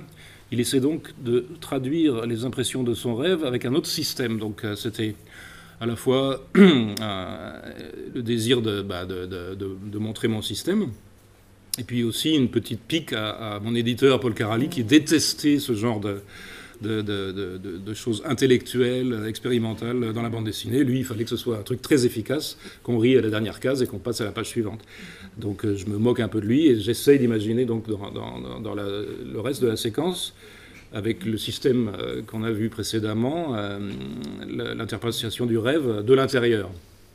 Donc je reprends cette espèce de, d'ectoplasme de, qui forme le, narrateur, et puis la bouche, donc on sent avec la langue la, dent qui bouge et qui va, qui va, qui va tomber, j'essaye de la faire de l'intérieur aussi. Donc ça devient une case ronde avec les dents, euh, la langue, etc. Bon. Et, puis, et puis là, bah, c'est l'espèce d'ectoplasme qui se dirige vers la salle de bain. tu peux aller page suivante. Et et donc, euh, ben, il y, a le reflet dans le miroir qui est mon, visage. Et puis, j'essaye. Donc, c'est pas forcément très réussi, hein, c'est de l'expérimental. Donc, euh, la langue, elle, triture toujours cette, dent qui bouge, cette espèce de, silhouette se rapproche du lavabo en caméra subjective. Il y a les mains qui s'agrippent et puis les dents qui tombent. J'essaye de faire ça dans un, angle plongeant comme ça, dans une eau un peu noirâtre. Euh, et puis donc là, je peux me permettre de faire la fin du rêve qui est, beaucoup plus abstraite et qui collait pas au gag. Les dents se transforment dans, des espèces de raisins secs et d'objets.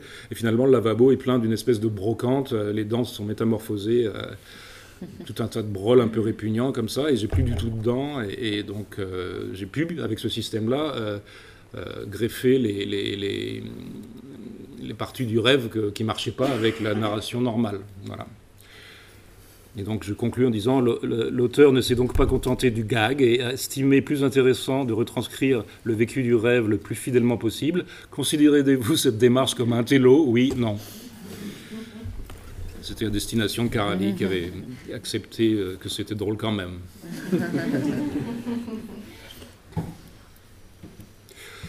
Euh, alors ça c'est intéressant parce que euh, ça remonte à pas mal d'années aussi. J'avais des, amis qui faisaient un, petit journal qui s'appelait Irato, Barthélemy Schwartz. Et un, de ses camarades qui, participait à ce journal avait fait des rêves euh, il avait rêvé d'un livre de moi qu'il voyait dans une brocante et il m'avait décrit euh, ce qui se passait dans ce livre. Donc ce livre s'appelait Le Maflu à roulette et euh, il y avait une espèce de, créature hybride avec des roues qui semait la terreur la nuit dans la ville. Et donc il m'avait dit, est-ce que ça t'intéresse d'essayer de dessiner cet album que j'ai rêvé? Je, bah, Bien sûr, oui, on va essayer de faire ça. Bah, bien sûr. oui. Et donc j'avais commencé une série de strips. Bon, ça s'est arrêté au deuxième. Comme beaucoup d'expérimentations, c'est tout est dit euh, au premier jet. C'est un peu difficile et pas très intéressant de faire traîner le truc en longueur. Euh, mais donc j'avais fait deux strips du Mafia roulette, qui est donc le rêve d'une autre personne. Et ça, bah, cet ensemble de pages est très ancien. Hein. C'est repris dans un, ouvrage qui s'appelle Gnognotte, à l'association. Euh, et c'est un, ensemble de pages qui, se posait la question aussi euh, est-ce qu'on peut adapter les principes euh, du, mouvement surréaliste à la bande dessinée? La réponse est bien sûr oui. Et dans cet ordre d'idée, euh, adapter un poème surréaliste de Benjamin Perret en bande dessinée. Donc j'avais choisi Le casque de l'inconnu, un court poème de Perret pour tenter de, l'adapter en bande dessinée. Donc le défi, c'était un poème euh, assez imagé, mais quand même un poème. Qu'est-ce que ça peut donner euh, en bande dessinée? Est-ce qu'on trahit? Est-ce qu'on euh, réduit? Est-ce qu'on augmente un peu la chose? Là encore, j'ai pas de réponse. C'était juste une expérimentation. Ça, c'est dans la série des, références au mouvement surréaliste, un exercice d'écriture automatique en bande dessinée, donc sans crayonner, encre directe, euh, aussi bien pour le dessin que pour la partie texte, donc tout s'agence euh, de façon improvisée. Donc euh, oui, l'écriture automatique bande dessinée, ça marche. Ça, c'est une sorte de... C'est aussi improvisé, mais là, il y a probablement un crayonné quand même, mais c'est une, une sorte de comment dire, de tentative de, d'ontologie de la bande dessinée, c'est-à-dire en strip, qui est une forme courte, qui, euh, qui, est très intéressant parce que bon, un strip d'ordinaire fait trois cases, quatre cases, et euh, tout doit être dit en, une forme très courte, qui ressemble un peu au haïku en, littérature. Et euh, souvent, le strip génère un deuxième strip, et, il y a, on peut dire, deux dimensions d'ellipse, un strip euh, avec une ellipse courte et puis une ellipse plus longue entre deux strips.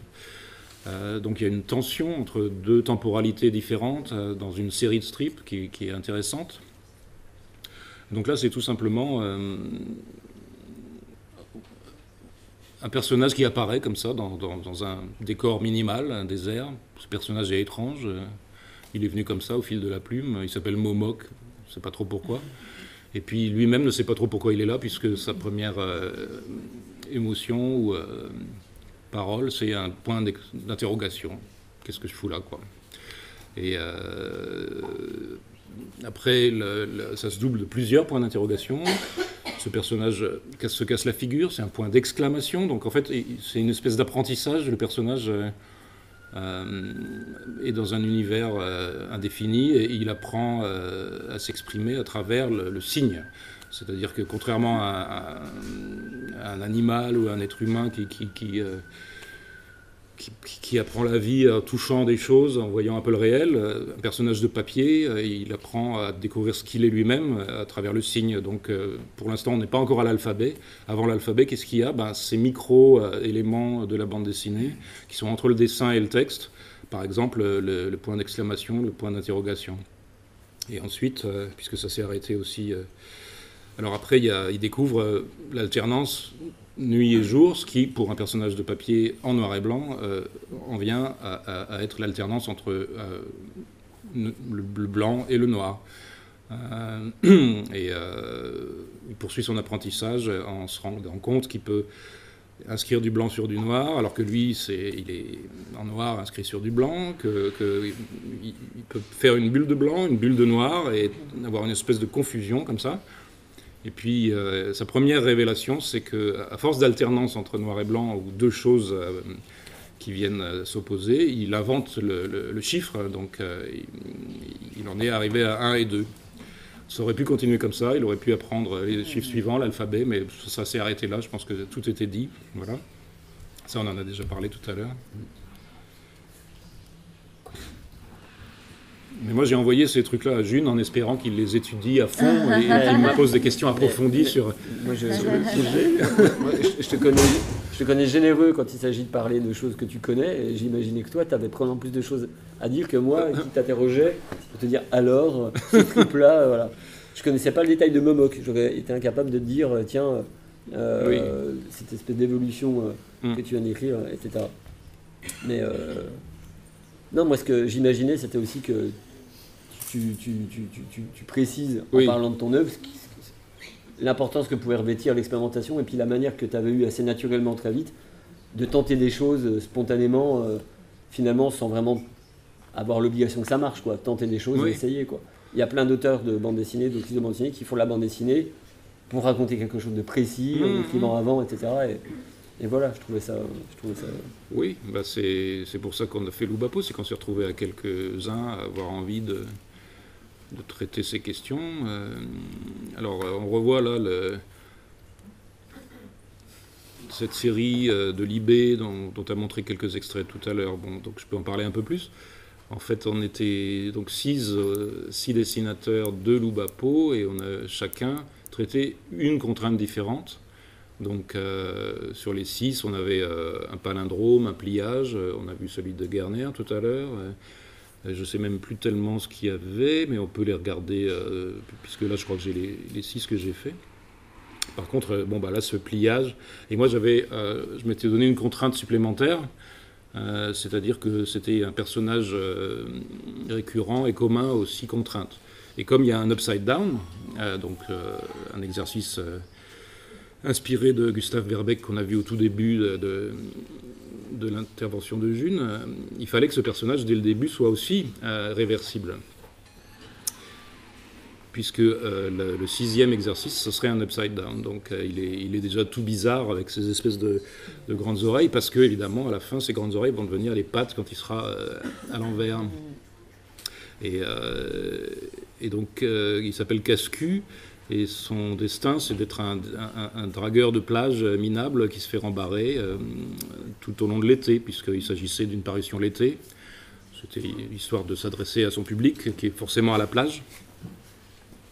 Et le, pliage, euh, je ne peux pas vous montrer le résultat plié, donc euh, simplement, bah, il était vertical au lieu d'être horizontal comme Yoren. Et N'écrasez pas mon, ma veste, monsieur. J'ai probablement du matériel dedans. Ah d'accord, merci. Euh, on peut passer au suivant. Donc ça, cet exercice euh, qui s'appelle le Morlac, euh, c'est donc une, bande dessinée qui tourne en rond. Hein. donc j'ai fait donc deux niveaux de, narration. Donc dans, les cases collées, la, grande partie, on peut, on peut voir, comment dire, il y a beaucoup de cases.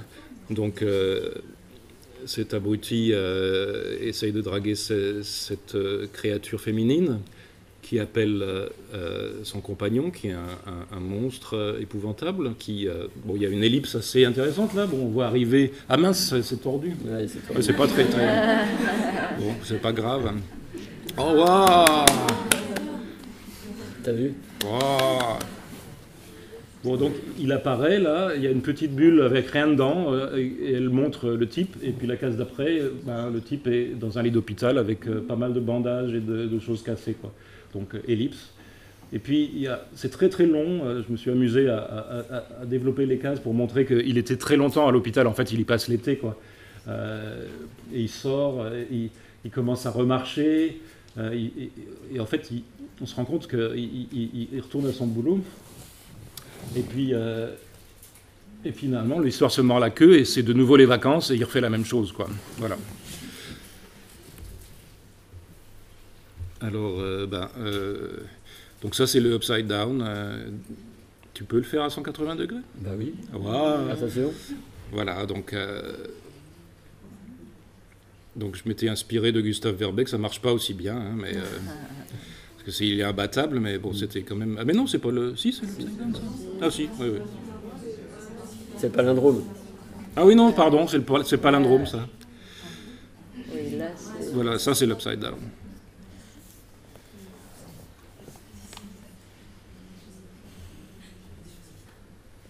Donc là, hop. Voilà. Et donc il rencontre son double en fait.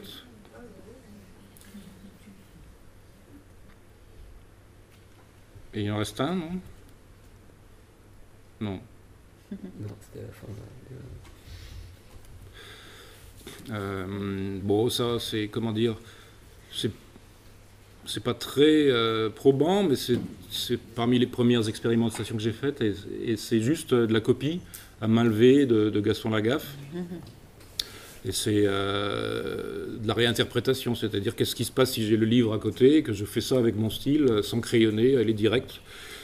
bah, il se passe ça, quoi. Et c'est intéressant, simplement parce que il y a un mélange de, d'une bande dessinée préconçue qui est excellente, qui fonctionne très très bien, et puis euh, de, ce fait, bah, la main va pouvoir euh, faire un peu ce qu'elle veut, et, donc il y avait quelques, quelques épisodes euh, du même acabit comme ça.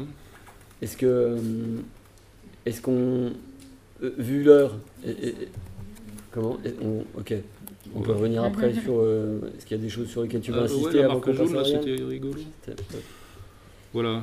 Donc, donc ça c'est du pur Oubapo, c'est bon, c'est un peu dans l'esprit de ce qu'on a vu tout à l'heure avec François Hérol qui se réapproprie Placide Museaux ou Michel Vaillant. Donc là, c'est à l'Ubapo, on a des, termes hein, pour euh, définir nos contraintes. Donc, euh, on a vu aussi tout à l'heure réduction d'une œuvre préconçue avec les, Tintins en deux cases de Hérol.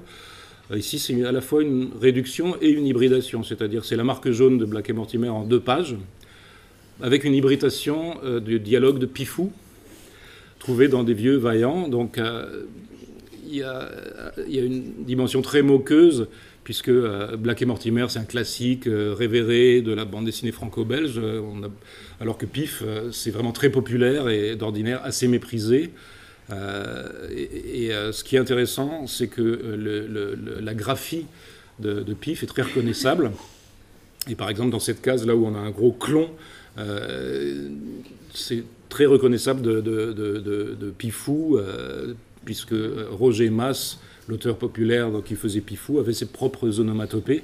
Et Pifou, qui est un chien qui, qui, comme on sait, s'exprime par globe-globe ou pas globe, pas globe, euh, qui est donc une espèce de niveau zéro de la bande dessinée, donc très méprisé par, euh, par les universitaires et tout ça, mais beaucoup apprécié par les connaisseurs du genre.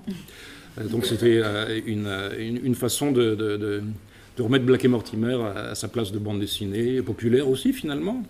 Et donc Ulrich qui s'exprime globe globe euh, après qu'il ait assassiné le professeur Septimus, euh, c'était très jubilatoire à faire. je peux m'arrêter là-dessus, on peut passer à... Ça va Oriane Ah, pardon. Ah, désolé. Euh, tac. Voilà. Pourquoi c'est euh, pas plein écran par contre? Ah ben ça, je sais pas, c'est toi de le régler. Euh, déjà, moi, euh, la bande dessinée, euh, j'ai beaucoup grandi avec ça. Donc, euh, j'ai lu beaucoup de choses enfants, euh, adolescentes, euh, de, du- des choses euh, mainstream, classiques, pas mal. Et, mais pas que, enfin, assez variées, on va dire. Et puis, je suis passée de l'heroic fantasy de mes 14 ans à la bande dessinée. de, de maisons d'édition comme l'association, notamment par le biais de Donjon, qui était quand même une série qui faisait le lien à la fois entre cet univers-là, mais faite par des auteurs comme Sfar et Trondheim, euh, qui sont euh, des membres créateurs de l'assaut. Passe Euh, pas Sfar, mais il... Si tu veux parler plus fort, tu Oui. le micro. ça va. Ok. Ok. Être, euh, Appuie sur le- C'est allumé, ouais, faut appuyer longtemps. faut appuyer longtemps. Ok. Ça va être très fort maintenant. Euh, voilà, donc euh, on a beaucoup parlé de cases. Je pense que c'est un élément important et c'est aussi lié hum, au format sur lequel la bande dessinée est née, qui est le papier. Donc si on veut avoir euh, utiliser le plus d'espace possible dans un rectangle de papier, on va faire des rectangles. Euh, et moi, c'est un format qui m'a beaucoup euh, limité au début, dans lequel je me sentais enfermée et dans lequel j'avais du mal à développer le dessin. Euh, je pense que ce qui m'a libérée, c'est déjà de me rendre compte qu'on pouvait se passer de la case Mhm. sans forcément perdre la séquence. Euh, et euh, j'ai beaucoup commencé à dessiner donc sur un blog et avec cette idée que euh, on a une on a un format rectangulaire qui est celui de l'écran mais qui peut se déployer de gauche à droite de haut en bas de manière très différente que sur une page de papier. Rappelle-nous en quelle année ton blog a été euh, re- En- repéré à En Angoulême 2011, euh, j'ai eu le prix Révélation Blog, qui paradoxalement était récompensé, récompensé par la possibilité de publier un album papier. Euh, ce qui était euh, à la fois intéressant pour moi parce que je faisais des études aux Beaux-Arts en illustration, c'était la possibilité de faire ma première bande dessinée euh, éditée. Euh, et ça m'a permis de me confronter directement à ce support-là, ce que j'aurais mis plus longtemps à faire sans ça. Euh, mais d'un autre côté, c'était frustrant aussi parce que moi, ça m'intéressait vraiment euh, de faire de la création numérique, d'utiliser ce support-là et ses possibilités. Euh, et donc, c'est quelque chose que, hum, vers lequel j'ai mis un moment à revenir parce que j'ai ben, j'ai aussi rencontré pas mal de gens dans le monde de l'édition plus traditionnelle, euh, publié quelques, quelques livres et euh, fini par rencontrer donc, euh, un auteur et éditeur qui s'appelle Yanis Lamakia, euh, avec qui on a discuté euh, de, euh, de la bande dessinée numérique, de son manque de traitement peut-être par... Enfin, on, on- peut peut-être situer qu'en 2020, on est très nombreux, acteurs, auteurs comme lecteurs, à avoir l'impression d'avoir fait le tour des possibilités, alors que c'est une erreur, évidemment, mais il y a 10-15 ans, on nous vendait le numérique comme euh, l'avenir de la bande dessinée, qui allait révolutionner la lecture, qui nous permettait de mettre des trucs, des animations, des retours, des zooms. Et en fait, tout ça s'est avéré être une suite de gadgets qui peinent à décoller, il faut bien le dire. Il y a eu plein d'initiatives éditoriales, de groupes, de, de- de collectifs d'auteurs, de développeurs, multimédia, qui ont fait des choses qui sont parfois super bien, mais qui n'ont jamais vraiment fédéré ou provoqué suffisamment d'engouement, ou n'ont peut-être tout simplement pas valorisé suffisamment le, la potentialité du numérique, quoi, on peut dire, ça comme ça. Jusqu'à ce que vous arriviez avec Yanis. on fait des tentatives comme d'autres l'ont fait. Donc, euh, enfin voilà, après, moi je suis pas... Alors, est-ce que tu veux qu'on parle de la collection RBB dès maintenant? Euh, oui, ben, donc euh, voilà ce que, ce que vous voyez là sur, euh, sur le vidéoprojecteur, c'est un ouvrage qui est sorti il y a deux ans, donc dans la collection RVB, que du coup Yanis a créé à cette occasion-là, enfin après quelques années de discussion.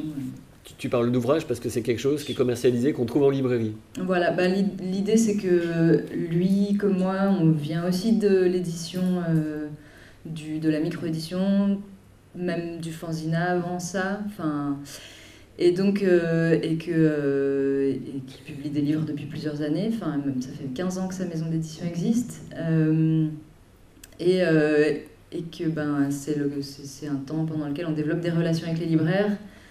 Euh, moi, c'est aussi en librairie que j'ai fait ma culture euh, bande dessinée euh, énormément. Enfin, c'est des lieux qui sont euh, important pour nous. Et l'idée de dire, c'est pas on fait du numérique, donc on se coupe de ça. Donc quand il a conçu la collection RVB, il l'a conçu avec des cartes de code qui sont vendues en librairie et qui donnent accès à une lecture numérique. Il y a quand même une, passerelle physique vers,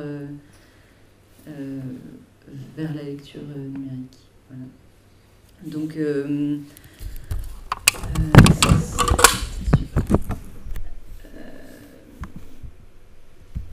Ouais, attends, parce que c'est le, le truc me semble bugué, je vais le redémarrer tout simplement.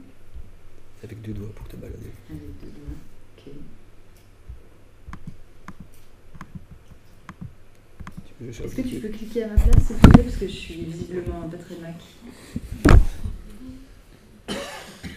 Voilà, donc là vous avez un aperçu de, de la collection avec euh, différents ouvrages qui sont. Euh, il faut que tu réactualises la page, je pense, malheureusement. Et peut-être qu'il faut se reconnecter en fait parce que ça fait trop longtemps. Ouais, ça, et voilà, c'est un des inconvénients du numérique, c'est que euh, on a de nombreux supports. Évidemment, on a déchargé avant, en préambule, et ça fonctionnait très bien. Ça fonctionnait très bien tout à l'heure. Bon, c'est toujours pareil.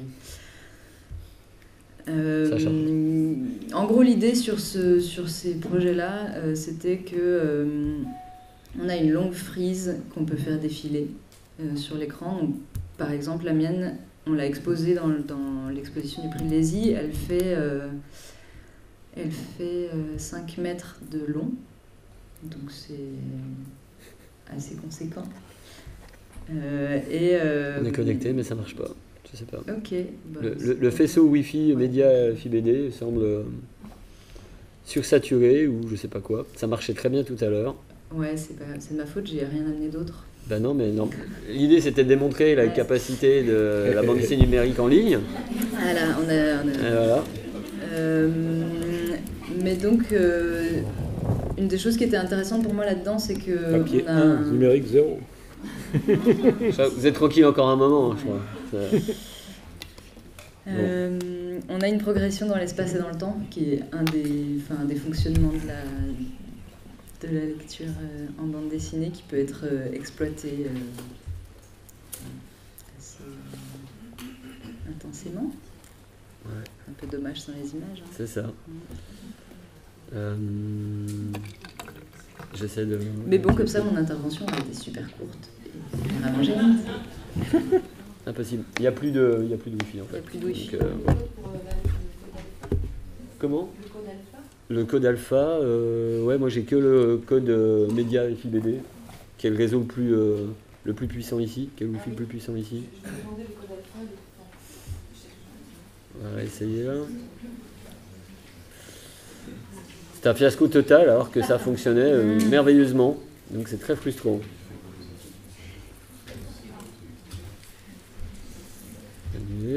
Ok. Bon.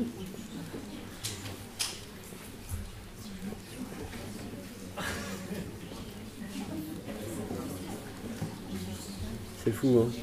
Ce qui est fou, c'est qu'on essaie, ça marche, on se dit c'est bon, et en fait, non. Au revoir. ok. D'accord, sympa. Merci. Bah, peut-être qu'il y a des personnes qui voudraient poser des questions. Celui de Ouais, sur les deux, les deux ça fait. Ah, c'est qu'il y a trop de monde. En fait, il n'y a plus rien qui s'affiche du tout. En fait, quand je ouais, connecte à notre réseau.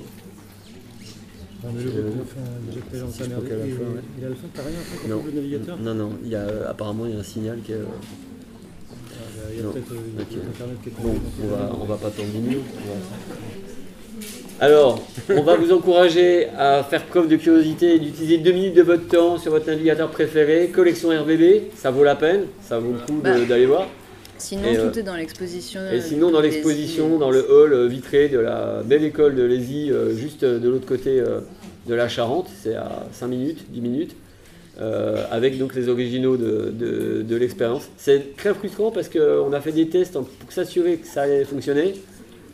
Et, euh, et a fortiori, Internet n'a pas survécu à ce matin. Voilà. Euh, c'est la faute à Macron. C'est la faute à Macron. Mais si vous, avez des questions, peut-être, ou si vous voulez rebondir sur des choses euh, diverses et variées, je vous rappelle qu'on vous fera parvenir ce petit diaporama complet de, des références que je vous ai montrées et puis de celles qu'on n'a pas eu le temps de montrer.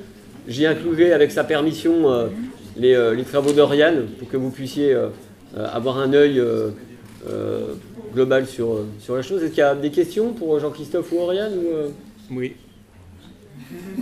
oui, je ne sais pas moi. On est prêt à répondre. Voilà, c'est ce que je voulais dire. Mhm.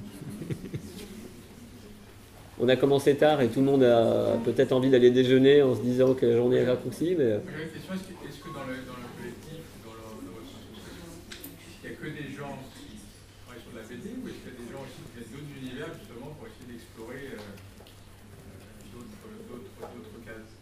Dans l'association de Jean-Christophe? Ah, de Loubapo? Euh... Je sais pas, des, des, peintres, des, des... Bah, essayer d'exploser des gens qui viennent complètement de la photo par exemple bah, C'est-à-dire que le, système des Zoo Expo, c'est qu'il y en a grosso modo un par chaque euh, discipline. Donc, euh, historiquement, le, premier à être créé, bien sûr, c'est l'Oulipo, mais très très vite, euh, François Le Lyonnais, qui s'occupait de tous les ouvroirs, avait déjà dans l'idée qu'il puisse y avoir un ouvroir de peinture potentiel, un, ouvroir de, musique potentiel, un ouvroir de à peu près tout. quoi. C'était donc une espèce de projet global. Euh, et euh, les premiers qui, ont suivi, c'était Loupimpo et Loulipopo, le mmh. de littérature euh, policière potentielle. Mhm. Et il y avait eu déjà des tentatives d'ouvrir de, de bande dessinée potentielle avant nous, mais qui n'avaient pas été très très loin. et par la suite, il y a eu un ouvroir de cuisine potentiel, un ouvroir de, de tragicomédie potentielle, Loutrapo. Et c'est arrivé qu'on fasse des choses ensemble, c'est-à-dire pour, pour le Centre Pompidou, on a créé une espèce d'opéra qui incluait tous les, les devoirs. Donc ça, c'était intéressant. Nous, on a été commissionnés pour faire les décors. Et euh, on avait essayé d'adapter euh, à la bande dessinée. Euh, c'était les, non, c'était les costumes qu'on avait fait, c'était pas les décors. Et, et, les costumes étaient en noir et blanc comme des cases de bande dessinée. Il y a eu plusieurs choses comme ça, oui. Mais on a toujours été euh, intéressé par euh, des passerelles avec les autres ouvroirs. Je parle que pour Loubapo, dont je ne fais plus partie d'ailleurs. Mhm.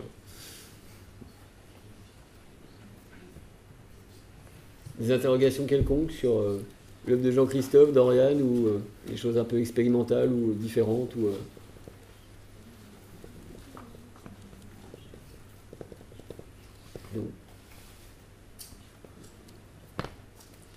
Ok.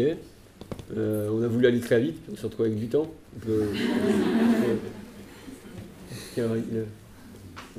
midi 10, on finit dans les temps. Allez, reprends, on en a encore pour deux heures avec ce que, tu avais à montrer là. Moi, je peux vous montrer encore quelque chose, mais je ne sais pas si euh, vous avez peut-être envie d'aller manger. Non, ça vous va? Moi, je veux bien vous montrer deux, trois choses. Euh, quelques exemples assez. assez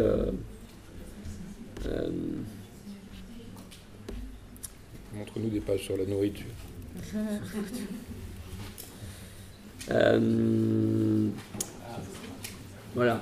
Quelques planches extraites de l'œuvre de Chris Ware, parce qu'on connaît Chris Ware pour être cet auteur euh, américain, euh, Jamie Corrigan, ce genre de choses, mais lui aussi interroge énormément de choses dans la représentation de ce qu'il raconte, la manière dont il le fait, mais aussi dans le support.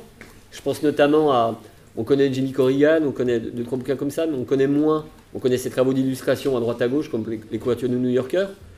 Mais euh, il est également l'auteur d'un objet assez dingue qui s'appelle Building Stories. Peut-être certains d'entre vous le connaissent. C'est un ouvrage qui n'a jamais vraiment trouvé sa place en librairie parce que ça ressemblait à une boîte de jeu. Mais les gens qui vendent du jeu n'en voulaient pas parce que c'était davantage des petits livres. Donc c'est un drôle d'objet un, peu, euh, euh, à la croisée des chemins qui se compose d'une boîte sur laquelle il y a un planisphère. Vous savez, comme les comme les, un planisphère d'une carte, qu'on déplie comme, euh, comme si on allait jouer dessus, qui euh, fixe un décor, en fait, sur lequel vient se greffer une quinzaine de petits ouvrages. Il y a des bouquins en longueur, il y a des petits, des, petits fascicules, il y a des grands journaux, tout ça dans la boîte. Et tous ces journaux sont autant de livres ou d'histoires qui font partie d'un grand tout qui se situe dans un immeuble. Parce que Chris a une espèce d'obsession des, des, maisons, des immeubles euh, et des histoires qui s'y trament.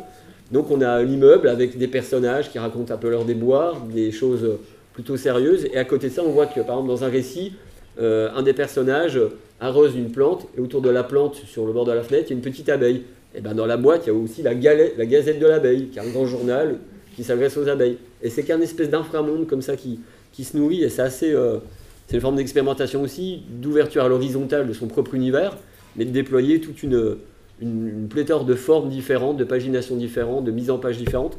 Et c'est euh, vraiment euh, une super belle expérience. Ça s'appelle Building Stories, en français aussi, malheureusement. Et c'est de Chris Ware, c'était publié chez Delcourt, je crois. Ça ressemble à ça. C'est un objet euh, vraiment atypique et, vraiment très chouette.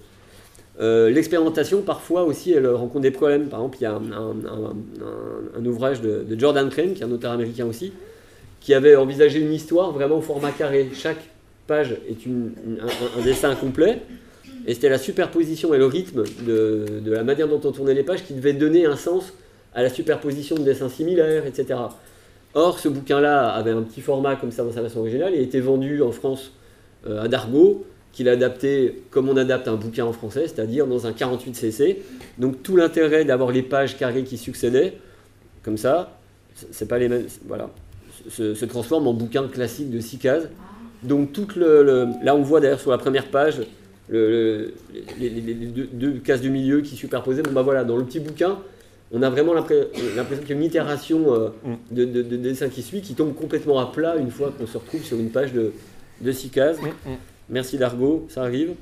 Euh, je ne suis pas sûr Kevin Muzenga, j'aurais pu parler de Rupert et Mulot, mais ça va être un peu long. Euh, Matsumoto aussi. On peut prendre deux secondes pour parler de Dominique Goblet, qui est un ouvrage à la croisée des chemins, qui répond peut-être un petit peu aussi à votre question sur euh, est-ce qu'il y a des gens euh, en termes de peinture qui peuvent. Voilà. Là, on est dans un ouvrage super particulier. C'est Jean-Christophe qui l'a édité, donc il en parlera plus facilement que moi. Mais en gros, pour ceux qui, celles qui ne connaissent pas, le livre de Dominique Goblet est l'un des plus beaux livres que moi personnellement j'ai eu l'occasion d'avoir entre les mains. C'est un bouquin qui s'appelle euh, Chronographie. Chronographie. merci, j'ai un trou de mémoire que Dominique Goblet a, signé, a co-signé avec sa fille, Nikita Fossoul. Tu veux nous en parler? Oui, si tu veux. Bah, en fait, c'était une, une, expérimentation, on peut dire, que Dominique Goblet a fait avec sa fille euh, sur euh, comment dire, une, longueur de, de, 10 ans. Pardon. Euh, et l'idée était que une fois par semaine une fois tous les 15 jours, euh, la mère et la fille euh, fassent un portrait euh, croisé sur l'espace de 10 ans. Et donc la mère a proposé à la fille, qui avait alors 7 ans, de le faire pendant 10 ans. Et la fille a dit oui. Et, ce qui est remarquable, c'est qu'ils ont tenu le, pari. Donc Nikita l'a fait jusqu'à ses 17 ans. Et ce qui est impressionnant dans ce livre, c'est que comment dire, Dominique ne, change pas beaucoup physiquement sur ces dix années. Elle passe peut-être de, la trentaine à la quarantaine. En revanche, bien sûr, l'enfant de 7 ans euh, qui devient une jeune fille de 17 ans euh, change énormément, parfois d'une semaine à l'autre. Et ce qui change aussi, c'est le, style de, l'enfant. Euh, donc le, style de, l'enfant est très marqué enfant au début, et il va évoluer, passer à un dessin d'adolescente. Donc on a cette double évolution euh, des traits qui changent et du style qui change, qui, euh, n'était valable qu'avec euh, l'intégralité donc des, séquences. C'est pour ça que le livre fait 600 pages. et c'était, je suis fier d'avoir pu faire ce livre tel qu'il devait être fait, c'est-à-dire avec l'intégralité des séquences, parce qu'un choix, ça aurait été ruiner l'expérience. Quoi. Donc c'est un très très gros livre. Je crois qu'il est épuisé à l'heure actuelle, mais qu'il mm. est prévu de le réimprimer et qui est une sorte de... de, pour moi, il n'est pas vraiment de la bande dessinée, mais quand même, il fait partie du champ de la bande dessinée, dans le sens où il y a une, narration qui est celle du, temps qui existe, quoi, du temps qui passe pour, pour euh, de vrai, dans cette espèce de réalité, presque réelle, euh, et, donc qui se retranscrit dans, dans la magie d'un objet imprimé. Donc là, on a une expérience qui est à la fois plastique, euh, narrative, euh, avec une. On va dire que si c'est une bande dessinée, le blanc interéconique, euh, c'est la vie elle-même. Quoi. Donc c'est une véritable expérience humaine dans le champ plastique et, et de l'imprimé, de l'histoire du livre. Donc chronographique, cet ouvrage un peu à la croisée. effectivement, quand on en parle avec Dominique Goblet, on lui dit mais est-ce que ce livre est encore dans la bande dessinée? Elle enfin, Une ou deux fois, j'ai eu l'occasion de discuter avec elle en public, elle disait Je suis autrice de bande dessinée, démerdez-vous avec ça. Mm, mm. On voit que voilà, l'idée, c'est pas de choisir une discipline ou un champ, c'est de jouer avec la notion de la narration et après de coller et d'appliquer l'outil euh, et le langage qu'on a envie de, selon les expériences. Euh, en termes d'expérimentation, on n'a pas pris beaucoup de temps pour parler de l'outil, de vraiment de, de, l'approche de l'outil, de la matière, etc. Il y, a, il y a plein de possibilités évidemment à partir du moment où on est dans les, arts graphiques. Il y a notamment le travail de Terry Ekebom qui fait des bandes dessinées, qui est une finlandaise, qui travaille uniquement à la carte à gratter, qui fait des récits entiers en carte à gratter, mais avec ceci particulier qu'elle s'impose des contraintes d'expérimentation. Elle l'a fait elle-même. Vous voyez la carte à gratter, d'habitude on peut l'acheter, c'est noir, on prend son petit. Voilà. Elle, prend des plaques de carton, elle met des taches de couleur à la craie glace, avec des grosses taches de crêpe pastel comme ça. Elle aplatit tout, elle passe une couche de mélange de cirage et térébenthine dessus, et d'encre de Chine, à parts égales.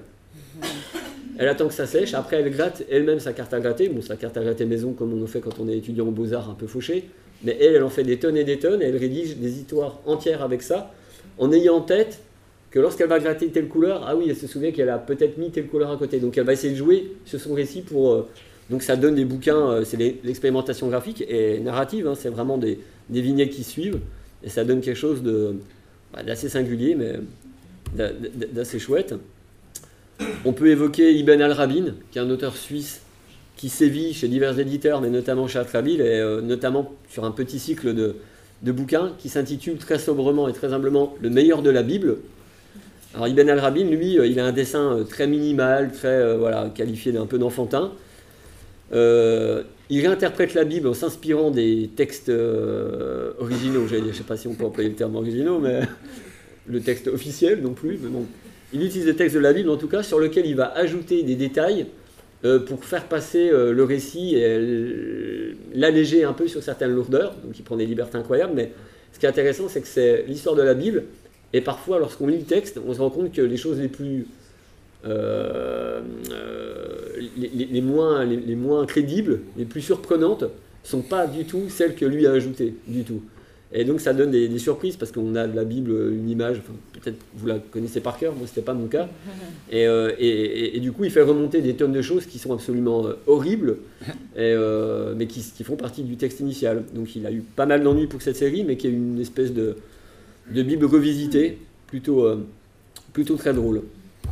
Euh, pour bien finir, avant d'aller manger, on peut vous casser la tête avec quelque chose qui vous donnera envie de prendre un, peu d'aspirine avant de, avant de suivre, mais, mais qui, à mon avis, euh, explore aussi un petit peu ce que peut être la bande dessinée. C'est un, c'est un exercice qui s'appelle Ressac, qui est né lors d'une des résidences qu'on organise où on essaie d'inviter des auteurs qui vont jouer avec ces principes-là et tenter des choses. le Ressac, c'est un premier joueur, j'allais dire. Un premier auteur ou une première autrice, en l'occurrence Ju Yun Choi, qui est une autrice de Poitiers, si je ne dis pas de bêtises, qui euh, réalise une petite séquence en trois cases, qui raconte quelque chose, qui la passe à un deuxième joueur, un deuxième auteur, qui va ajouter une case avant, une case après, et une case dans chaque gouttière, dans chaque espace. Donc il va ajouter quatre cases. Les quatre cases qui vont être ajoutées vont donc s'ajouter aux trois déjà présentes pour former un récit de sept cases. Jusque-là, ça va. Sauf que les trois cases initiales, il faut qu'on puisse les enlever, les soustraire, et faire en sorte que les quatre nouvelles cases forment un récit à part entière. Donc on ajoute les quatre cases, on retrouve en diagonale les trois cases de Ju-Yun, on voit en forme de croix les quatre nouvelles cases, et ça forme un nouveau petit récit. On soustrait les trois cases, on se retrouve avec ces quatre cases, auxquelles on vient rajouter trois cases, etc. etc. Et on fait ça non-stop, pendant des dizaines, voire des centaines de pages. Donc on raconte pas du tout un récit linéaire avec un début, un milieu, une fin, mais à l'image du titre, le ressac, on a un récit qui décolle, qui se rétracte, qui repart et qui fait jamais que ça, de, de, se limiter dans sa propre ampleur. C'est une expérience de lecture très singulière. Alors on ne va pas raconter euh, une fiction incroyable sur des tonnes de pages, mais ça interroge le rapport à la lecture et à la manière dont on va vous raconter quelque chose qui est... Ben voilà, c'est une expérience, c'est l'expérimentation. Et donc euh, voilà, je vous passe le détail, mais... Euh, après, il y a des livres aussi assez particuliers, des livres, euh, des, maisons d'édition qui sont parfois même très attachées à la fabrication et à la manière d'envisager l'objet livre et d'explorer ses limites. Oriane expliquait euh, ses limites euh, lorsqu'elle s'est retrouvée face à un rectangle.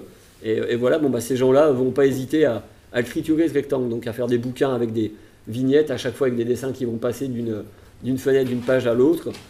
Ils vont faire des tonnes de bouquins comme par exemple également ce genre de principe-là, Polychromie, qui est l'expérimentation plein pot, qui invite une douzaine d'auteurs à composer une histoire en deux couleurs, en bleu et rouge, avec ce bleu et ce rouge particulier qui font que lorsqu'on leur adjoint une feuille de gélatine à la lecture, on puisse, vous savez, comme les lunettes 3D, là, quand on allait au ciné ou ce genre de choses, voilà, on puisse ne lire que la couleur bleue ou que la couleur rouge. Donc on pose la feuille sur le bouquin, et on n'a qu'une seule couleur qui forme un premier récit. Ensuite, on pose l'autre feuille, on a le deuxième récit. L'enjeu étant évidemment de solliciter le créateur pour qu'il joue avec ça de manière autre que je vous ai fait une première histoire et une deuxième histoire. Non, il faut vraiment que ça se superpose et, et que ça raconte quelque chose. Donc c'est un, bouquin qui est assez, euh, assez bluffant. Euh, comment? C'est quoi ça? Ça, c'est EMG. Euh, e c'est paru chez Tamibis il y a quelques années. C'est un drôle de truc. On peut parler de Florian Huet, qui lui est un auteur plasticien qui a décidé que ça pouvait être intéressant, au lieu d'ajouter de la matière au papier, de l'encre, de la peinture, que sais-je, d'en soustraire aussi. Donc il a commencé par jouer avec des points, des cutters, des compas, enlever de la matière et puis faire du découpage assez sommairement. Puis très vite, il s'est dit que c'était quand même un peu chiant, donc il a décidé de construire une machine qui s'appelle la poinçonneuse, qui est une machine, euh, c'est complètement fou, euh, qui permet donc de perforer, de micro-perforer des dessins en vectoriel. Donc il va dessiner, il va les scanner, il va les mettre dans sa machine, et il fait des bouquins entiers en, perforation. C'est l'expérimentation dans la matière, pas dans le récit, pas dans le récitatif ou le narratif, mais dans l'objet. Dans et, euh, et, ça donne des, choses très surprenantes. Euh, voilà, il y a des choses sur lesquelles euh, je passe sur. Voilà, il y a Stéphane Blanquet, qui est un auteur et éditeur aussi, qui a utilisé la sérigraphie et, ses possibilités, qui est ce procédé de reproduction mécanique que certains d'entre vous connaissent. il a composé une histoire qui se suit, ce sont des scénettes de gens qui meurent. Stéphane Blanquet a une œuvre assez tragico, rigolo, morbido, je sais pas quoi, mais en tout cas, les scènes décrivent des gens qui meurent, des, meurtres, des crimes, etc. Et on voit qu'il y a une espèce de, passage un peu particulier sur le papier, c'est parce qu'il y a une encre qui est quasi invisible, qui est une encre phosphorescente, en fait. Donc on va euh, dans son petit cabinet, on éteint la lumière, et on voit apparaître une couleur qu'on ne voyait pas à la lumière du jour, qui est l'encre sérigraphiée phosphorescente, qui montre précisément la raison du meurtre sur chaque dessin. Donc c'est une complémentarité dans le dessin. Alors évidemment, en plein jour projeté, ça, ça marche pas du tout, hein, mais il faut avoir le livre dans les mains. Et euh, mais ça reste de l'expérimentation. Voilà. On parlait de la 3D, vous connaissez peut-être Gene Curious, qui est un succès de librairie euh, rayon jeunesse, mais pas que, il me semble, et euh, bah, qui reprend ce principe-là aussi, en jouant cette fois avec la superposition simultanée des, des, deux couleurs et des deux gélatines pour avoir ce fameux effet 3D dont on parlait précédemment.